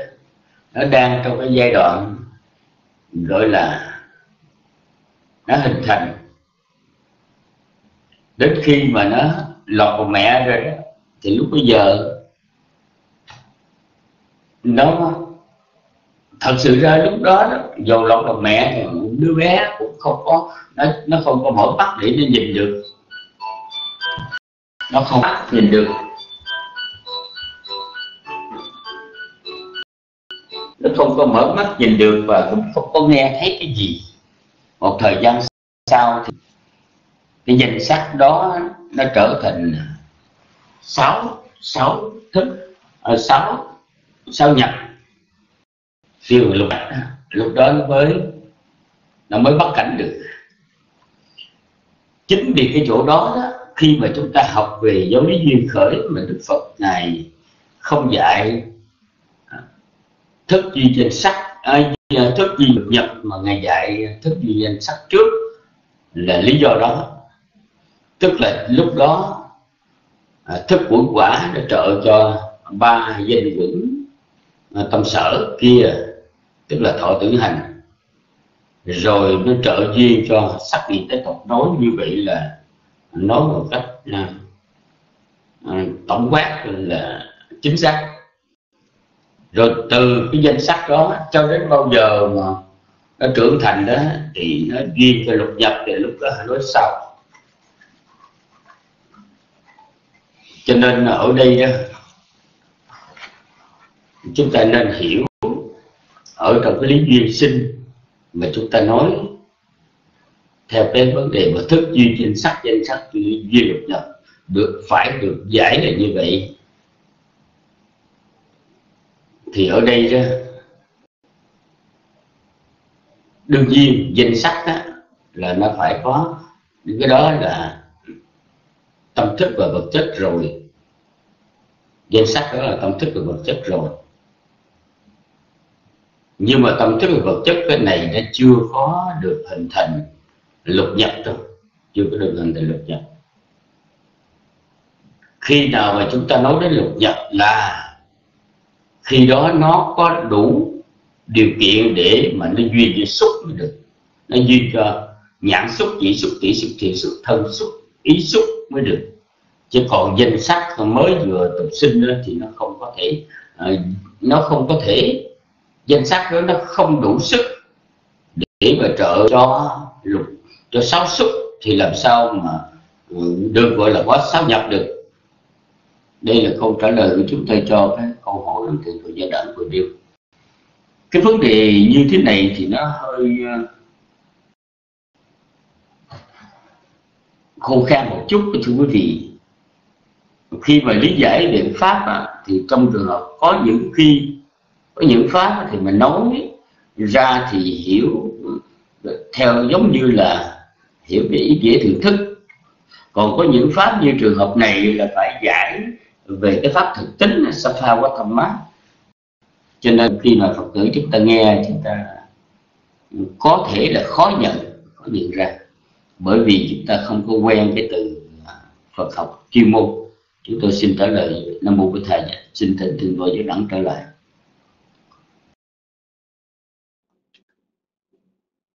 Sao thu kính trưng thì tổ thiền siêu mà thì tổ thiền siêu tại sao mà một số các vị thiền sư lại đặc biệt à, rất là chú trọng đến việc hành giả tu tập tiếng niệm xứ phải phân biệt danh sách? Thượng tọa có ý ờ, có ý nghĩ nào về điểm này không? Kính thỉnh thượng tổ hoàn thiện trở lại.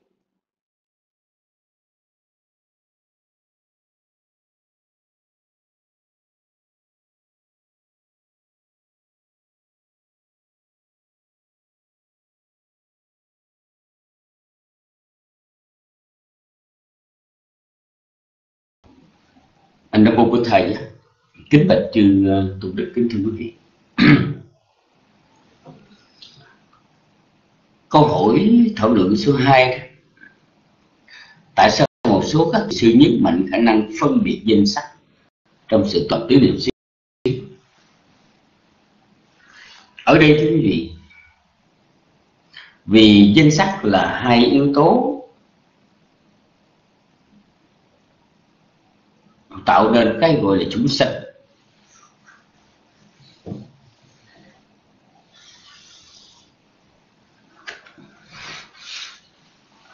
Thì bây giờ nếu như mà chúng ta nói đến cái sự tu tập cái niệm xứ, là để nhìn thấy cái sự vô thường, quán chiếu cái sự vô thường khổ và vô ngã của của pháp hữu vi ta chỉ cần nhận định qua danh sắc được rồi. Danh sắc nó bao quát. Trên nếu mà chúng ta nói trong trường hợp này là, là mắt tai mũi lưỡi thân vân vân thì như vậy nó khó. Chúng ta khó nhận ra được. Cho nên khi mà chúng ta tu tập về à, tứ niệm xứ ở trong cái tuệ giác à, đầu trong cái cái tự minh sát đầu tiên đó, cái tự minh sát đầu tiên thì chúng ta chỉ cần nói à, đến cái uh, nam rupa và đến cái hạ nhà nát diện được rồi. Tức là chúng ta có cái sự uh, phân biệt danh sách. Từ ở cái chỗ đó đó thì chúng ta mới có thể mới có thể triển khai nó rộng hơn. Nếu muốn nếu muốn bởi vì danh sắc cái như là ở gốc. Bây giờ chúng ta đi mua đồ trang sức. Chúng ta chưa có nói đến cái chuyện mà mua à, đeo bông hay là cà rá hay là dây chuyền gì cả. Chúng ta chỉ nhận xét vào cái vấn đề là cái loại vàng nào. Vàng 24 carat hay là 18 carat. Nếu phân biệt như vậy thôi tùy theo cái túi tiền của mình hay là cái sở thích của mình mình muốn. Cái kim loại nào đó thì chúng ta nhận định cái đó trước. Rồi khi ra đó đó khi mà chúng ta đã thấy được đã biết được cái giá của cả của vàng 10, 18 carat và 21 carat rồi lúc bây giờ chúng ta mới chọn. Bây giờ cái chiếc bông tai này hay là dây chuyền cái sợi dây chuyền này hoặc là chiếc nhẫn này hoặc là tấm lắc này, thì lúc đó chúng ta hãy chọn sao cho nên khi mà cái lúc đầu mà tu tập về tứ niệm xứ là hành giả phải tập phân biệt danh sắc để bỏ đi cái khái niệm về tục đế. Bởi vì trong đời sống hàng ngày mình có cách thôi.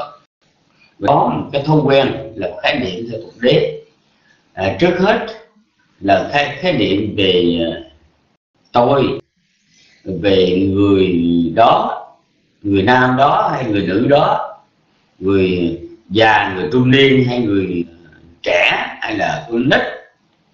Chúng ta có khái niệm tục lý vậy rồi chúng ta lại có khái niệm uh, con mắt tai lỗ mũi lưỡi thân. Tóc, lông, móng, răng, da, vân vân. Chúng ta có khái niệm đó. Cho nên à, lúc ban đầu nếu như mà chúng ta phân biệt cái nào là mắt, là tai, là mũi, lưỡi, vân vân, thì như vậy một là nó đi cái vòng quá xa. Bởi vì mắt, tai, mũi, lưỡi, thân cũng chỉ là sắc thôi. Cho nên chúng ta gom lại thành thành sắc được rồi. Và nếu nói tâm tham, tâm sân, tâm si đó thì uh, trong tứ niệm xứ chúng ta cũng có ghi nhận tham sân si. Tâm có tham tâm có sân tâm có si một cách là quán thân à, quán tâm. Đối với các tâm sanh khởi nhưng mà cái tuệ danh sắc lúc ban đầu thì cái, cái tuệ phân biệt danh sắc thì chúng ta chỉ ghi nhận ghi nhận cho nên danh. Cái này là danh cái này là sắc sắc đó là sắc quẩn nó bao trùm còn danh đó là danh quẩn chỉ, chỉ vậy thôi thưa quý vị đây là câu trả lời của chúng tôi cho cái câu hỏi số hai 2 thượng tọa uhm.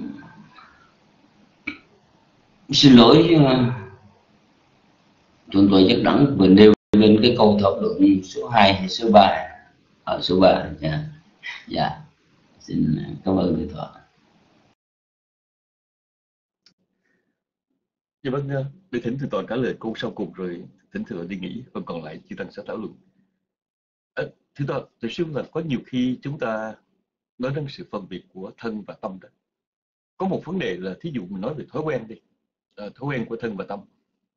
Thì hai cái thói quen đó nó có là một không? Hay là à, đối với người tu tập thì nên phân biệt phân biệt đó là có những thói quen nó thuộc về thân không nhất thức về tâm. Và có những thói quen thuộc về tâm không nhất thức về thân mà sự phân biệt nó có lợi cho sự tu tập cho chúng ta không? Thí dụ như bây giờ mình nói nghiện ngập ma túy đó là thói quen của thân hay của tâm. Kinh đỉnh thì à, toàn quan nghĩ uh, à, trở lại cho uh, bài suy nghĩ về điểm này. Chính thưa toàn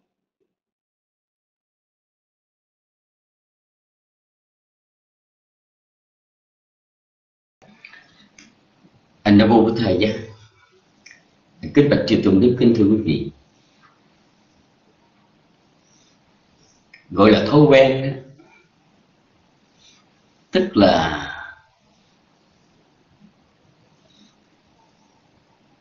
nói theo vị pháp thì nó là bắt cái câu với đế sĩ giá.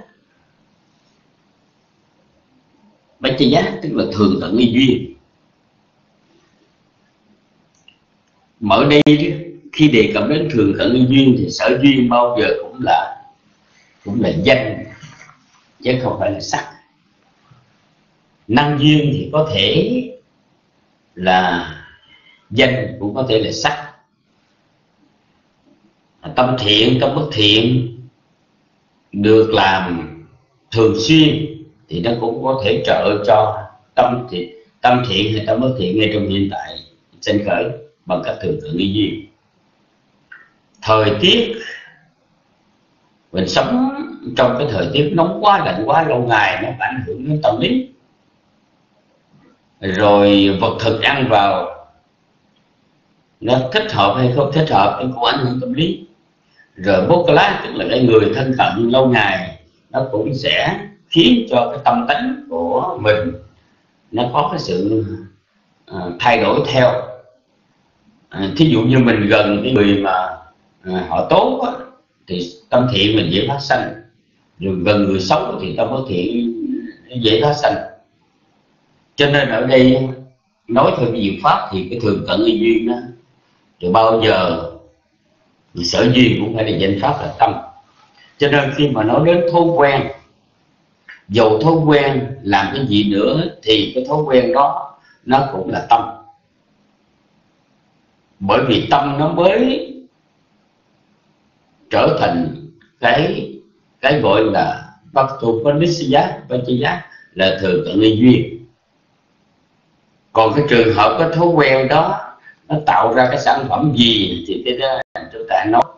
Chúng ta nói, thí dụ như người đó có cái thói quen à, nói chuyện mà gãi gãi gãi gãi đầu, cũng là cái thói quen. Nhưng mà cái thói quen đó, cái hành động, cái thao tác mà gãi gãi đó, thì cái đó nó thuộc về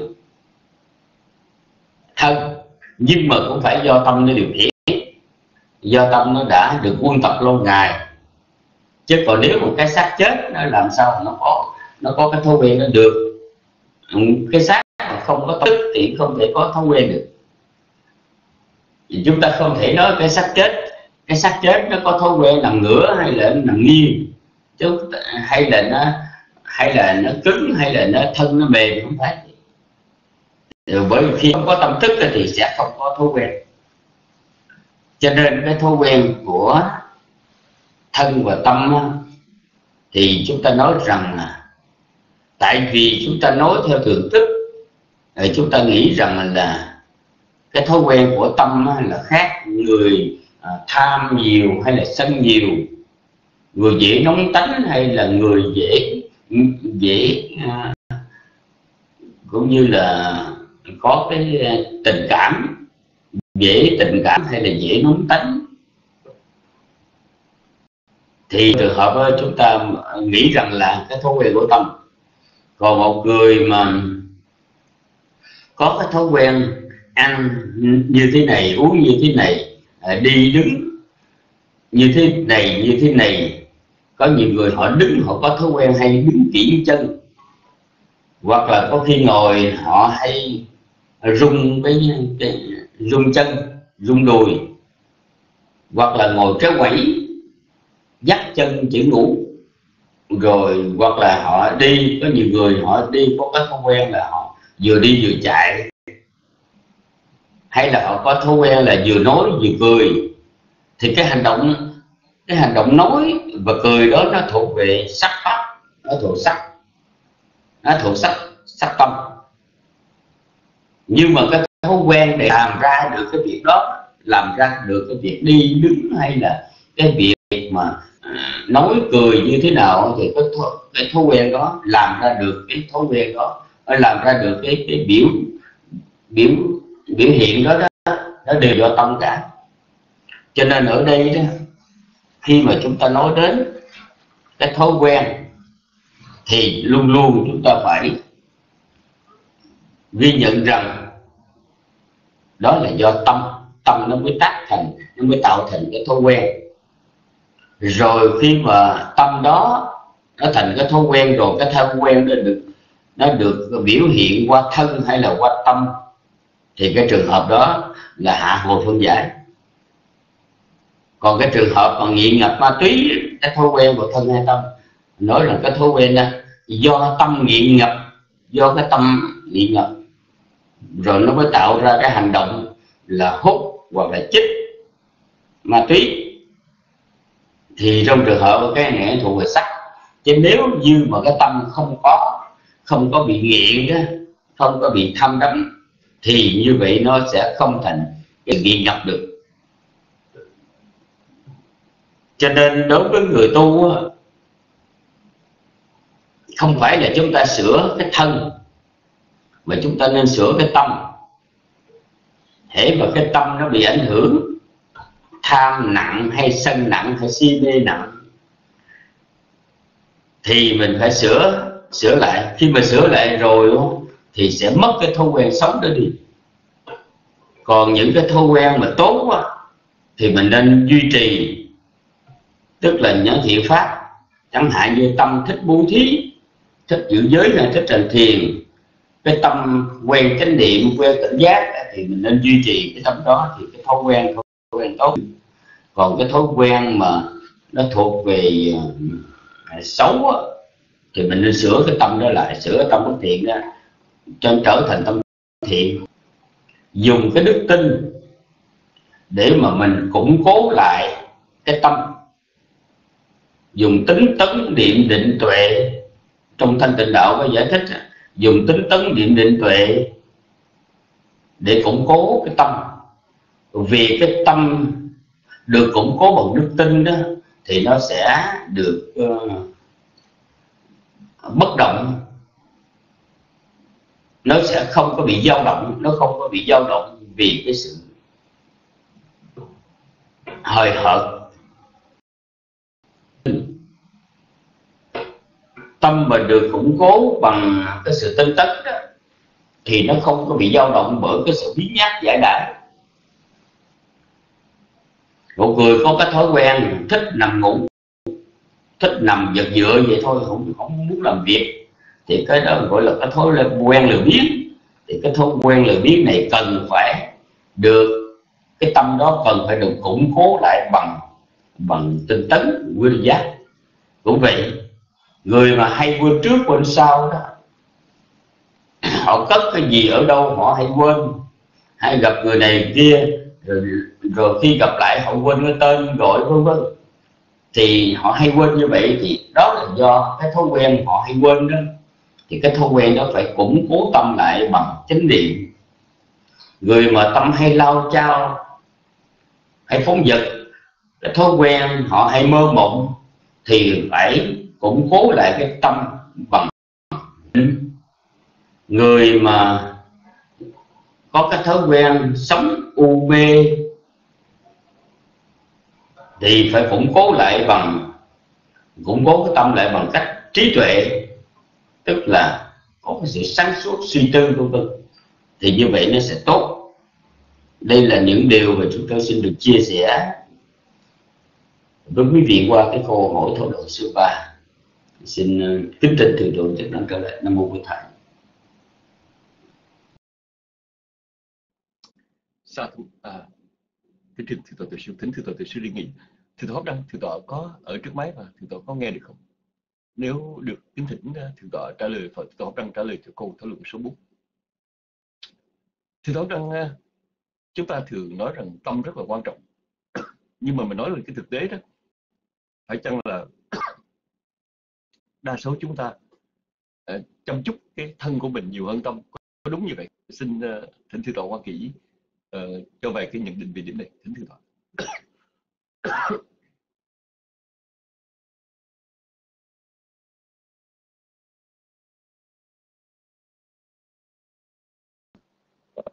Hello. Hello. Dạ, cảm ơn Phụng Lan. Dạ cảm ơn trong cái câu hỏi của thượng tọa là phải chăm số đa số chúng ta chăm sóc ừ, thân nhiều hơn chăm sóc thân.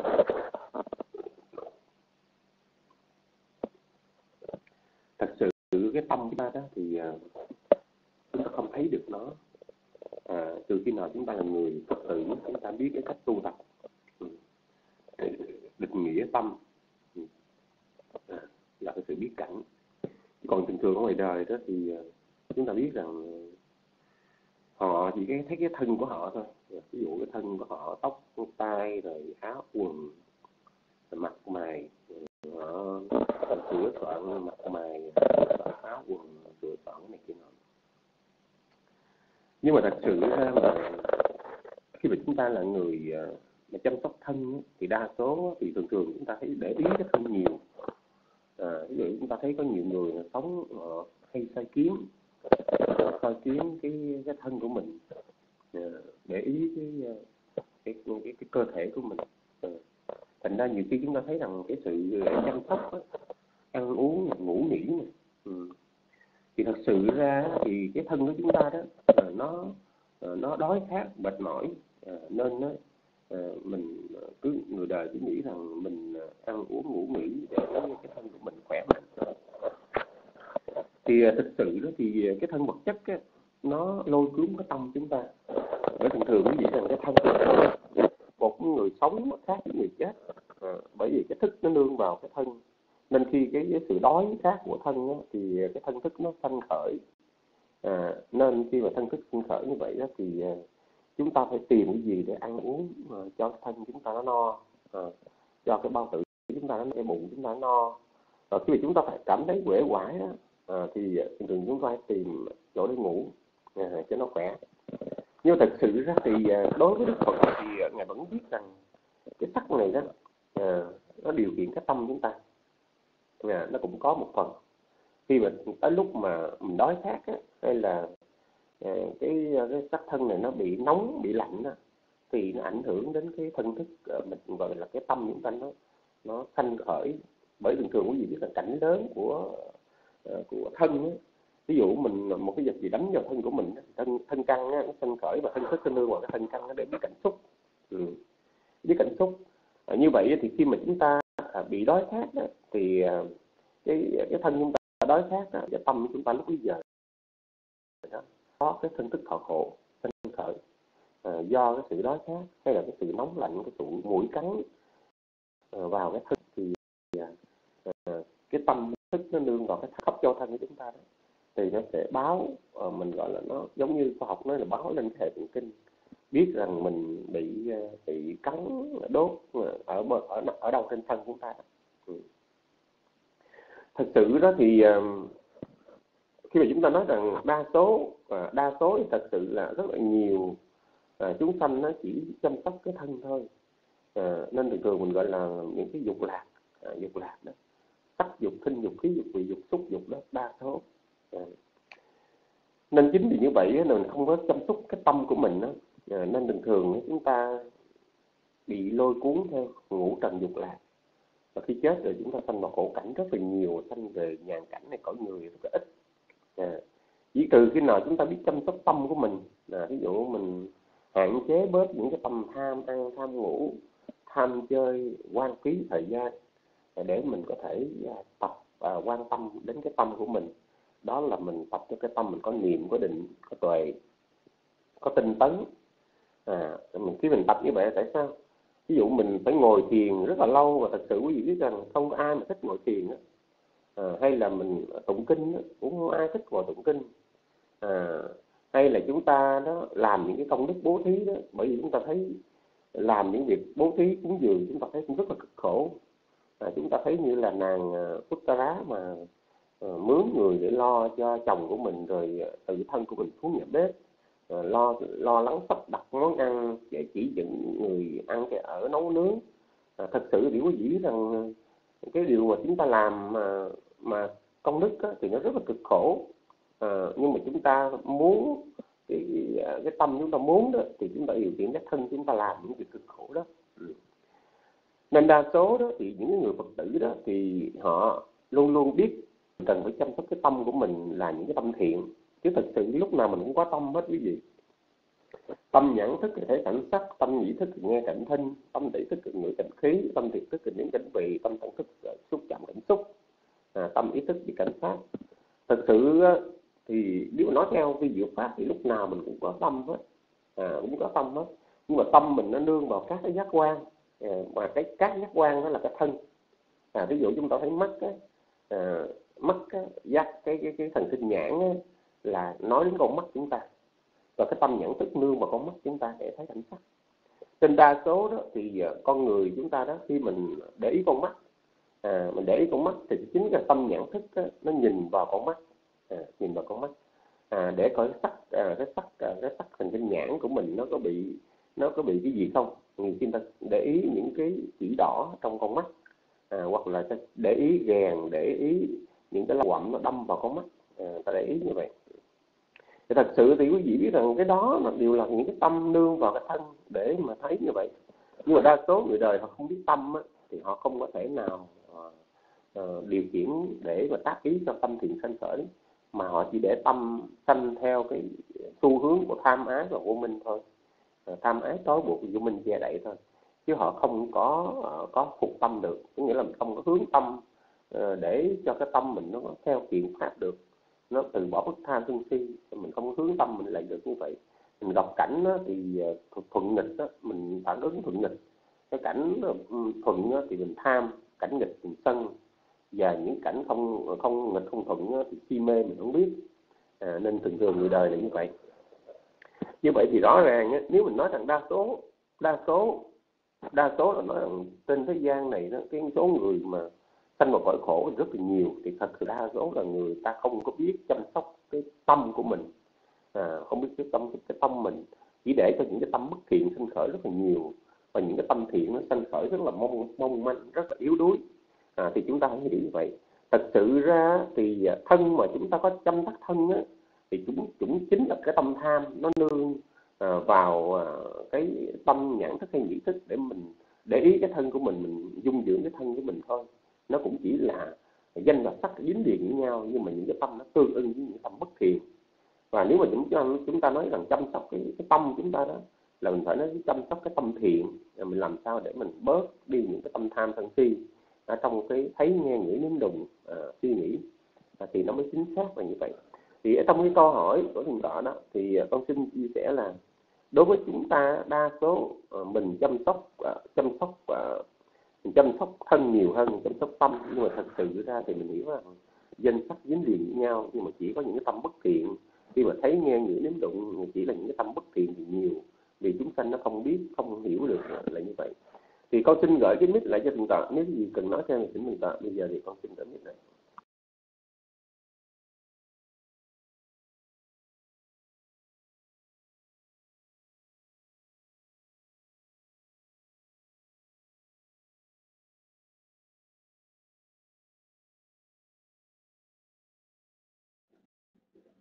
sao thuộc cái chân à, từ học đó.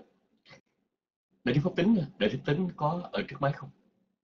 Nếu đại đức tính à, nghe được xin thỉnh đại đức pháp tính trả lời cho cô thảo luận số 5 đại đức pháp tính có nhiều người họ quan niệm rằng nếu mà mình đi sửa sắc đẹp mình sửa cái ngoại hình của mình thì mình thay đổi cuộc sống rất là nhiều.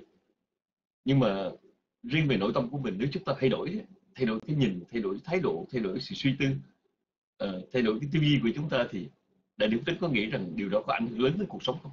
Cái thỉnh đại đức tính.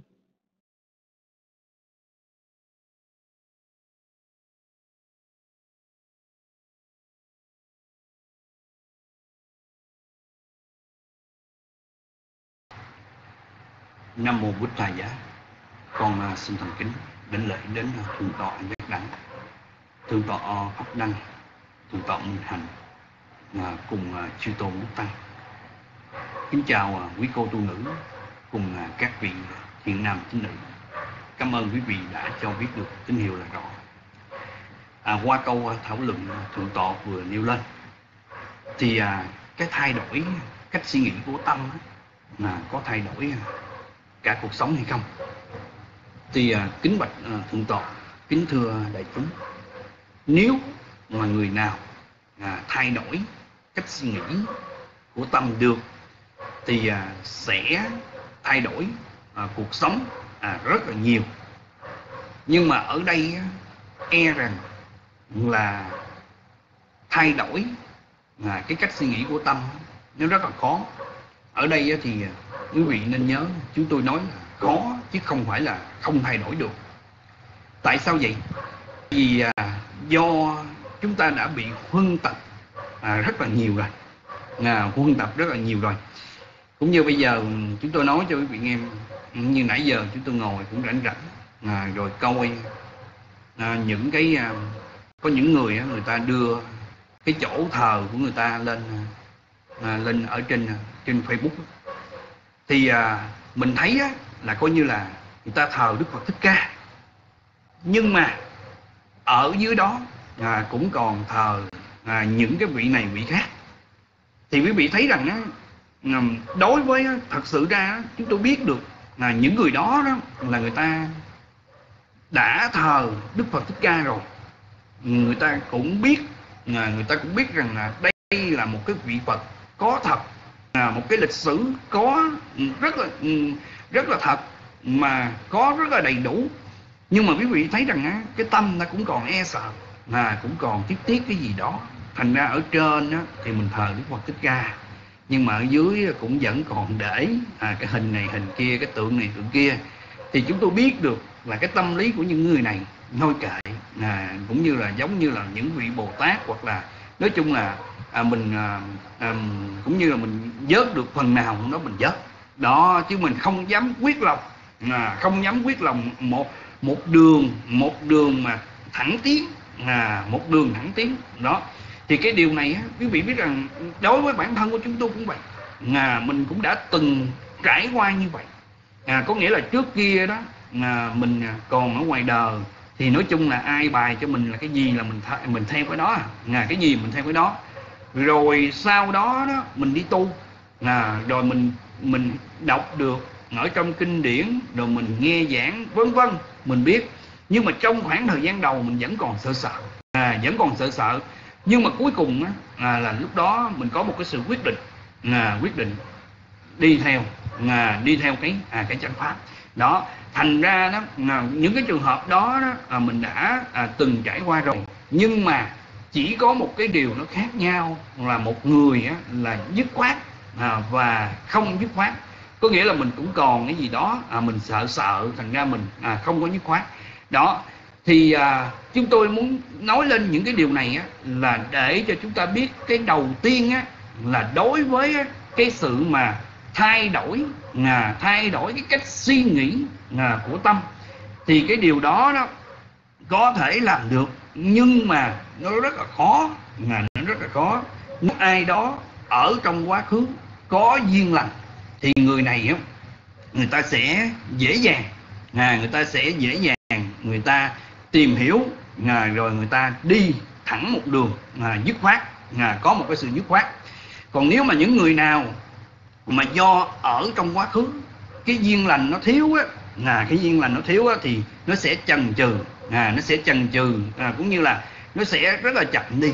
Đó thì cái điều đầu tiên ở trong cái câu thảo luận này đó thì chúng tôi muốn nói rằng là cái cách thay đổi à, của suy nghĩ à, suy nghĩ thì à, nó rất là khó à, à, rất là khó thay đổi cái cách suy nghĩ.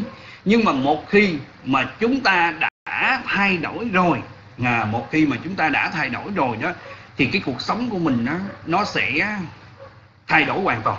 À, quý vị thấy rằng các pháp là do ý làm chủ à, ý dẫn ý tạo tác đó khi mà chúng ta thay đổi rồi nếu mà chúng ta à, từ chánh mà chúng ta qua tà à, thì coi như là cái cái cả cái cuộc sống à, cái cả cái cuộc sống mình đều đi theo cái hướng đó. Còn nếu mà mình từ tà mà sang chánh à, thì coi như là mình cũng thay đổi à, toàn à, cái cái cục diện. À, có nghĩa là chúng tôi muốn nói là toàn cái cái cái cái sự sống của mình sẽ đều sẽ thay đổi. Hoặc là một người từ cái sự lười nhác mà đã sai thay đổi được à, cái tâm của mình rồi thì coi như là cái khoảng còn lại à, nó sẽ đi ở trên cái cúng đó thành ra đó cái cuộc sống này á, nó cũng quan trọng. Những cái hành động mà của mình làm hàng ngày nó do tâm tác động đến rất là nhiều. Từ cái chuyện mà mình có tinh tấn hay là mình à, lười biếng hoặc là có niềm tin hay là không có niềm tin nó do cái à, cái cái sự à, suy nghĩ cái sự thay đổi à, của tâm của mình rất là nhiều. Do vậy á, mà ở trong cái câu thảo luận này đó à, thì à, à, chúng tôi muốn nói rằng là cái cách thay đổi của tâm á, là nó sẽ thay đổi cả cái cuộc sống này. À, nó thay đổi cả cuộc sống này. Nhưng mà nó có một cái điều à, đầu tiên là thay đổi cái cách suy nghĩ của tâm nó rất là khó. À, nhưng mà nếu mà chúng ta vượt qua được à, cái khó đó rồi à, thì coi như là chúng ta sẽ có một cái cuộc sống mới. À, nó hoàn toàn à, về cái theo cái suy nghĩ à, của tâm mình. Thì nếu mà tâm mình mà nó hướng chánh à, thì nó sẽ à, theo chánh. Mà tâm mình mà nó hướng ta thì nó sẽ à, theo ta. À, đây là những cái ý của con à, xin được à, đóng góp qua cái câu à, thảo luận à, của thượng tọa đã nêu. À, bây giờ con xin được giúp lời con thỉnh thượng tọa trở lại. Nam mô bút thầy giá. Sa thú thí trưng đại đức pháp tích à, đại đức viên thông à, có có trước máy không? Nếu đại đức viên thông à, nghe được xin à, thỉnh đại đức viên thông trả lời cho câu thảo luận sau cùng. À, đại đức viên thông à, chúng ta có nghe về lý tưởng của một số tôn giáo ví dụ như là uh, đạo lão hay là các vị du già. Đôi khi các vị nghĩ đến một cái luyện cái thân uh, kim cang bất hoại thân trường sinh bất tử. Hay là uh, một số các tôn giáo quan niệm rằng cái tâm của chúng ta là linh hồn đó thì nó cũng là thường hằng bất biến. Nhưng mà với Phật pháp thì dạy rằng thân và tâm đều sanh diệt danh và sắc đều sanh diệt và cả hai nó đều bị những điều kiện chi phối trong cái luật sanh diệt hết. Thì cái cái lời dạy đó mang ý nghĩa gì đối với sự tu tập của chúng ta? Cái thỉnh ờ, ờ, đại đức viên thông. Dạ, Nam Mô Bổn Sư Thích Ca Mâu Ni Phật, con tu lĩnh sư phụ à, có đáp án thảo lượng số 6 hỏi rằng lời dạy của tôn giả Sariputta là thân và tâm sanh diệt do những điều kiện, tức là những cái duyên trợ tạo. Điều đó mang ý nghĩa gì đối với chúng ta? À, kính thưa sư phụ, à, ngài lời dạy của ngài Sariputta là, là chân lý là ngài là học trò của Đức Phật Thích Ca Mâu Ni và ngài Đức Phật Thích Ca Mâu Ni là một vị à, Phật toàn giác.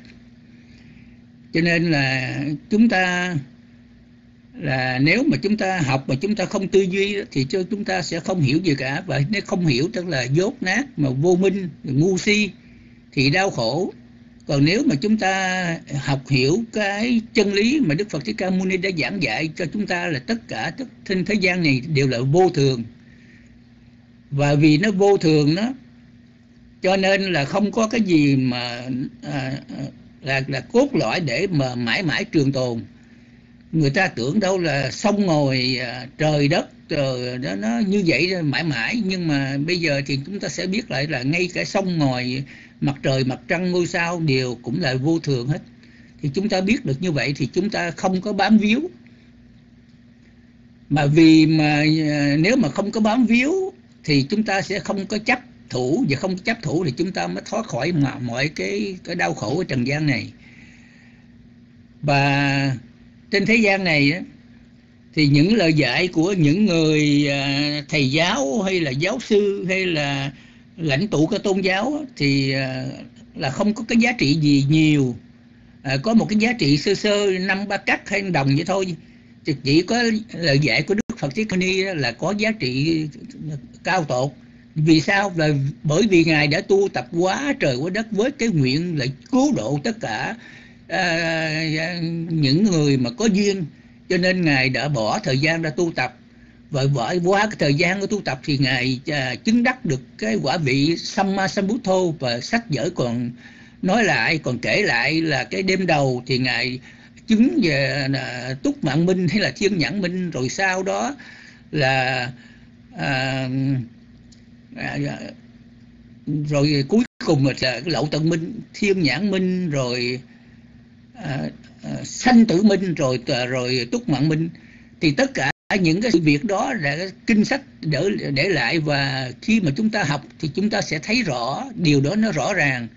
Là cái lời dạy của ngài thì nó nó luôn luôn lúc nào cũng đúng là bởi vì bởi vì thế nào? Bởi vì đó là một cái sắc chá paramattha là một một cái chân lý tuyệt đối.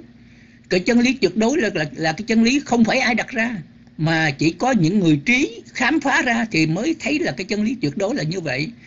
Cho nên là là mình à, là những người học trò là đi sau.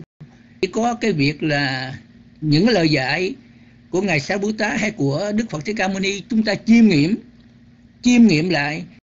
Dùng trí tuệ của chúng ta để suy xét thì thấy đúng như vậy thì chúng ta phải làm theo và thực hành theo và khi thực hành theo thì chúng ta thấy được những cái vị ngọt của giáo pháp. Cái vị ngọt của giáo pháp là gì? Là chúng ta cảm thấy thoải mái, hạnh phúc.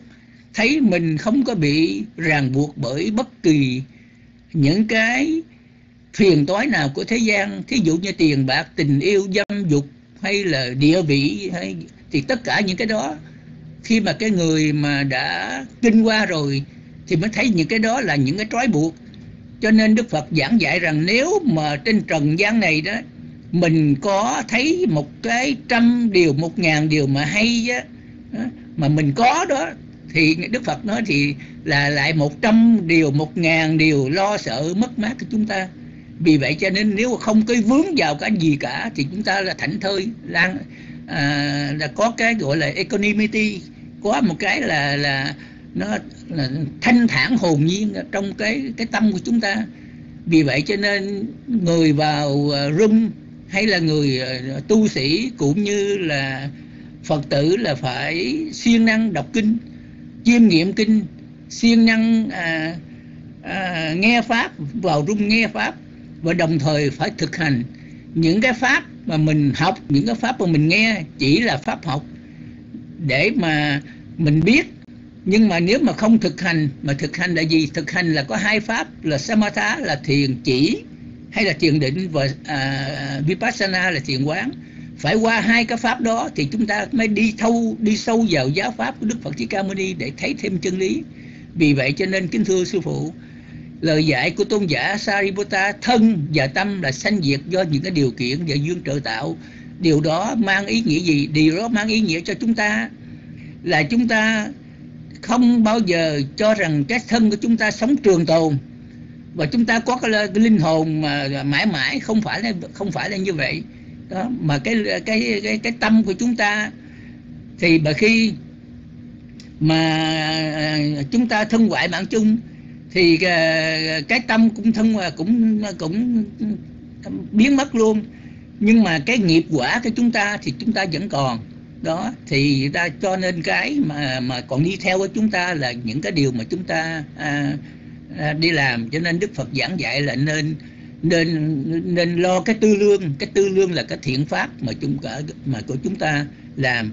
Và khi mà cái thiện pháp chúng ta làm thì khi mà khi tái sanh nhật kiếp sau thì chúng ta có những cái điều kiện để mà sinh sống mà một cách thoải mái hơn và à, à, nguyện sống gần chùa nguyện gặp à, những vị thiện trí thức để có thể tu hành à, à, tiếp.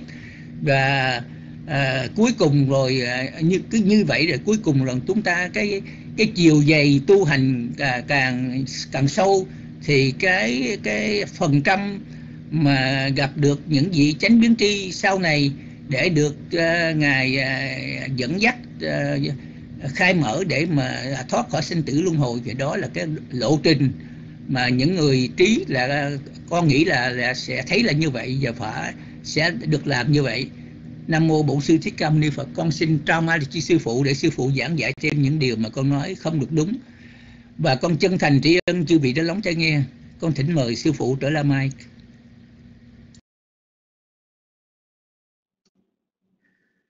Sa thú kính trường à, à, đại đức Nguyên Thông. Thưa quý vị, ờ, danh sắc là một đề tài lớn trong Phật học. Khi chúng ta nói danh sắc là nói sự hiện hữu của chúng sanh trong đời. Nhân danh sắc có nhiều loại và cái sự tương quan giữa danh và sắc đó, nó là những cái uh, điểm rất là uh, lý chi mà chúng ta học trong Phật pháp lẫn ở ngoài thưởng thức và dĩ nhiên là khi mà chúng ta nói đến danh sắc nó là một cái dùng sanh diệt tiếp nối đó thì lại cho chúng ta một cái ý nghĩa về vô ngã. Chúng tôi xin được kết thúc ờ, chương trình sinh hoạt hôm nay của Rung Phật pháp của Dharma kính chuyên chiêu vị giảng sư đã vào Rung để thuyết giảng. Đảnh lễ quý ngài. Thân chào tạm biệt quý Phật tử. Kính chúc tất cả một ngày an lành, một đêm an lành. Hẹn gặp lại trong chương trình ngày mai. Nam mô Phật thầy dạ.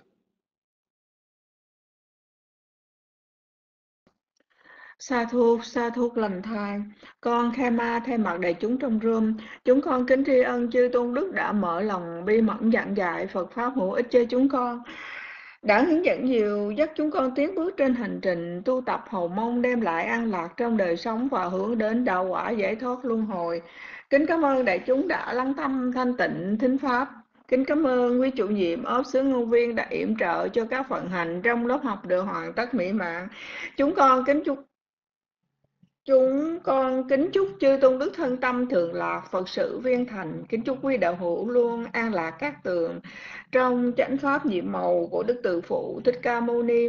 Để kết thúc chương trình, xin chúng ta nhất tâm hồi hướng, nguyện công đức đã làm, kết duyên lành giải thoát, nguyện hồi hướng chư thiên, hàng thiện thần hộ pháp, nguyện các bậc hữu ân, đồng thừa tư công đức, nguyện chánh pháp trường tồn, chúng sanh cầu giải thoát. Nam mô Bụt Tha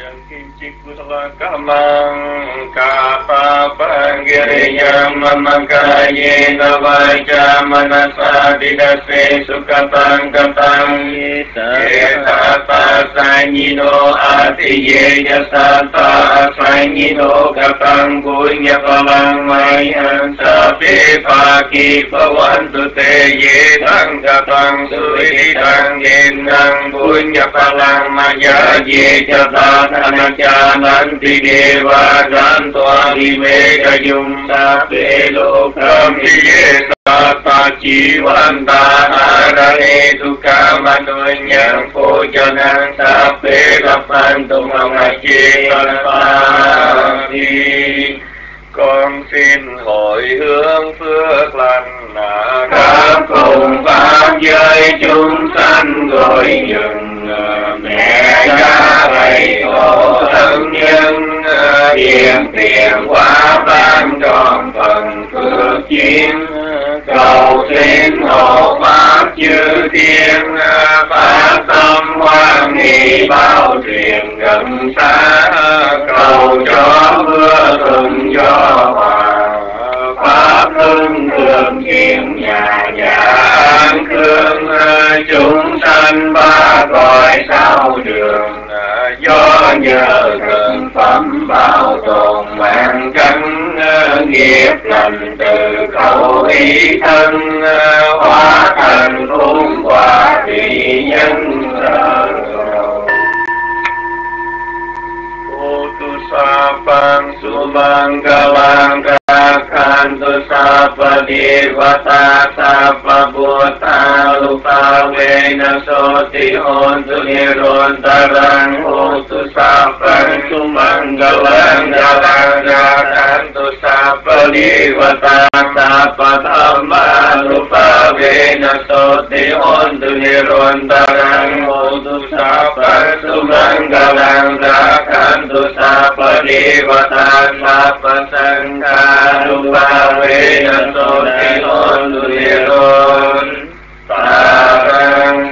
công đức đã làm Ghét duyên lành giải thoát Đệ tử và chúng sanh đồng niên thành chân giác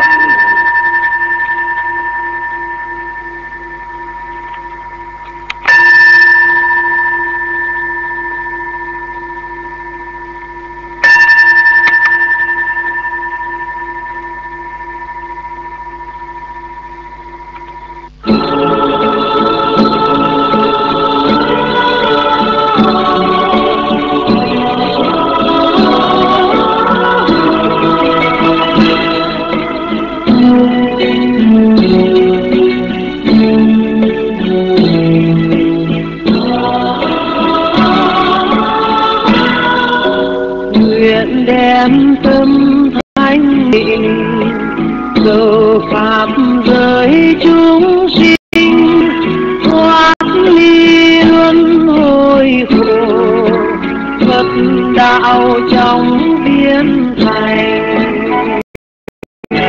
Nguyện đem tâm thanh tịnh, cầu pháp giới chúng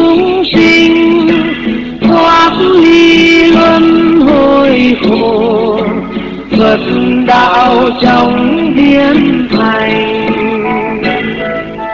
Nguyện đem tâm thánh tình cầu phạm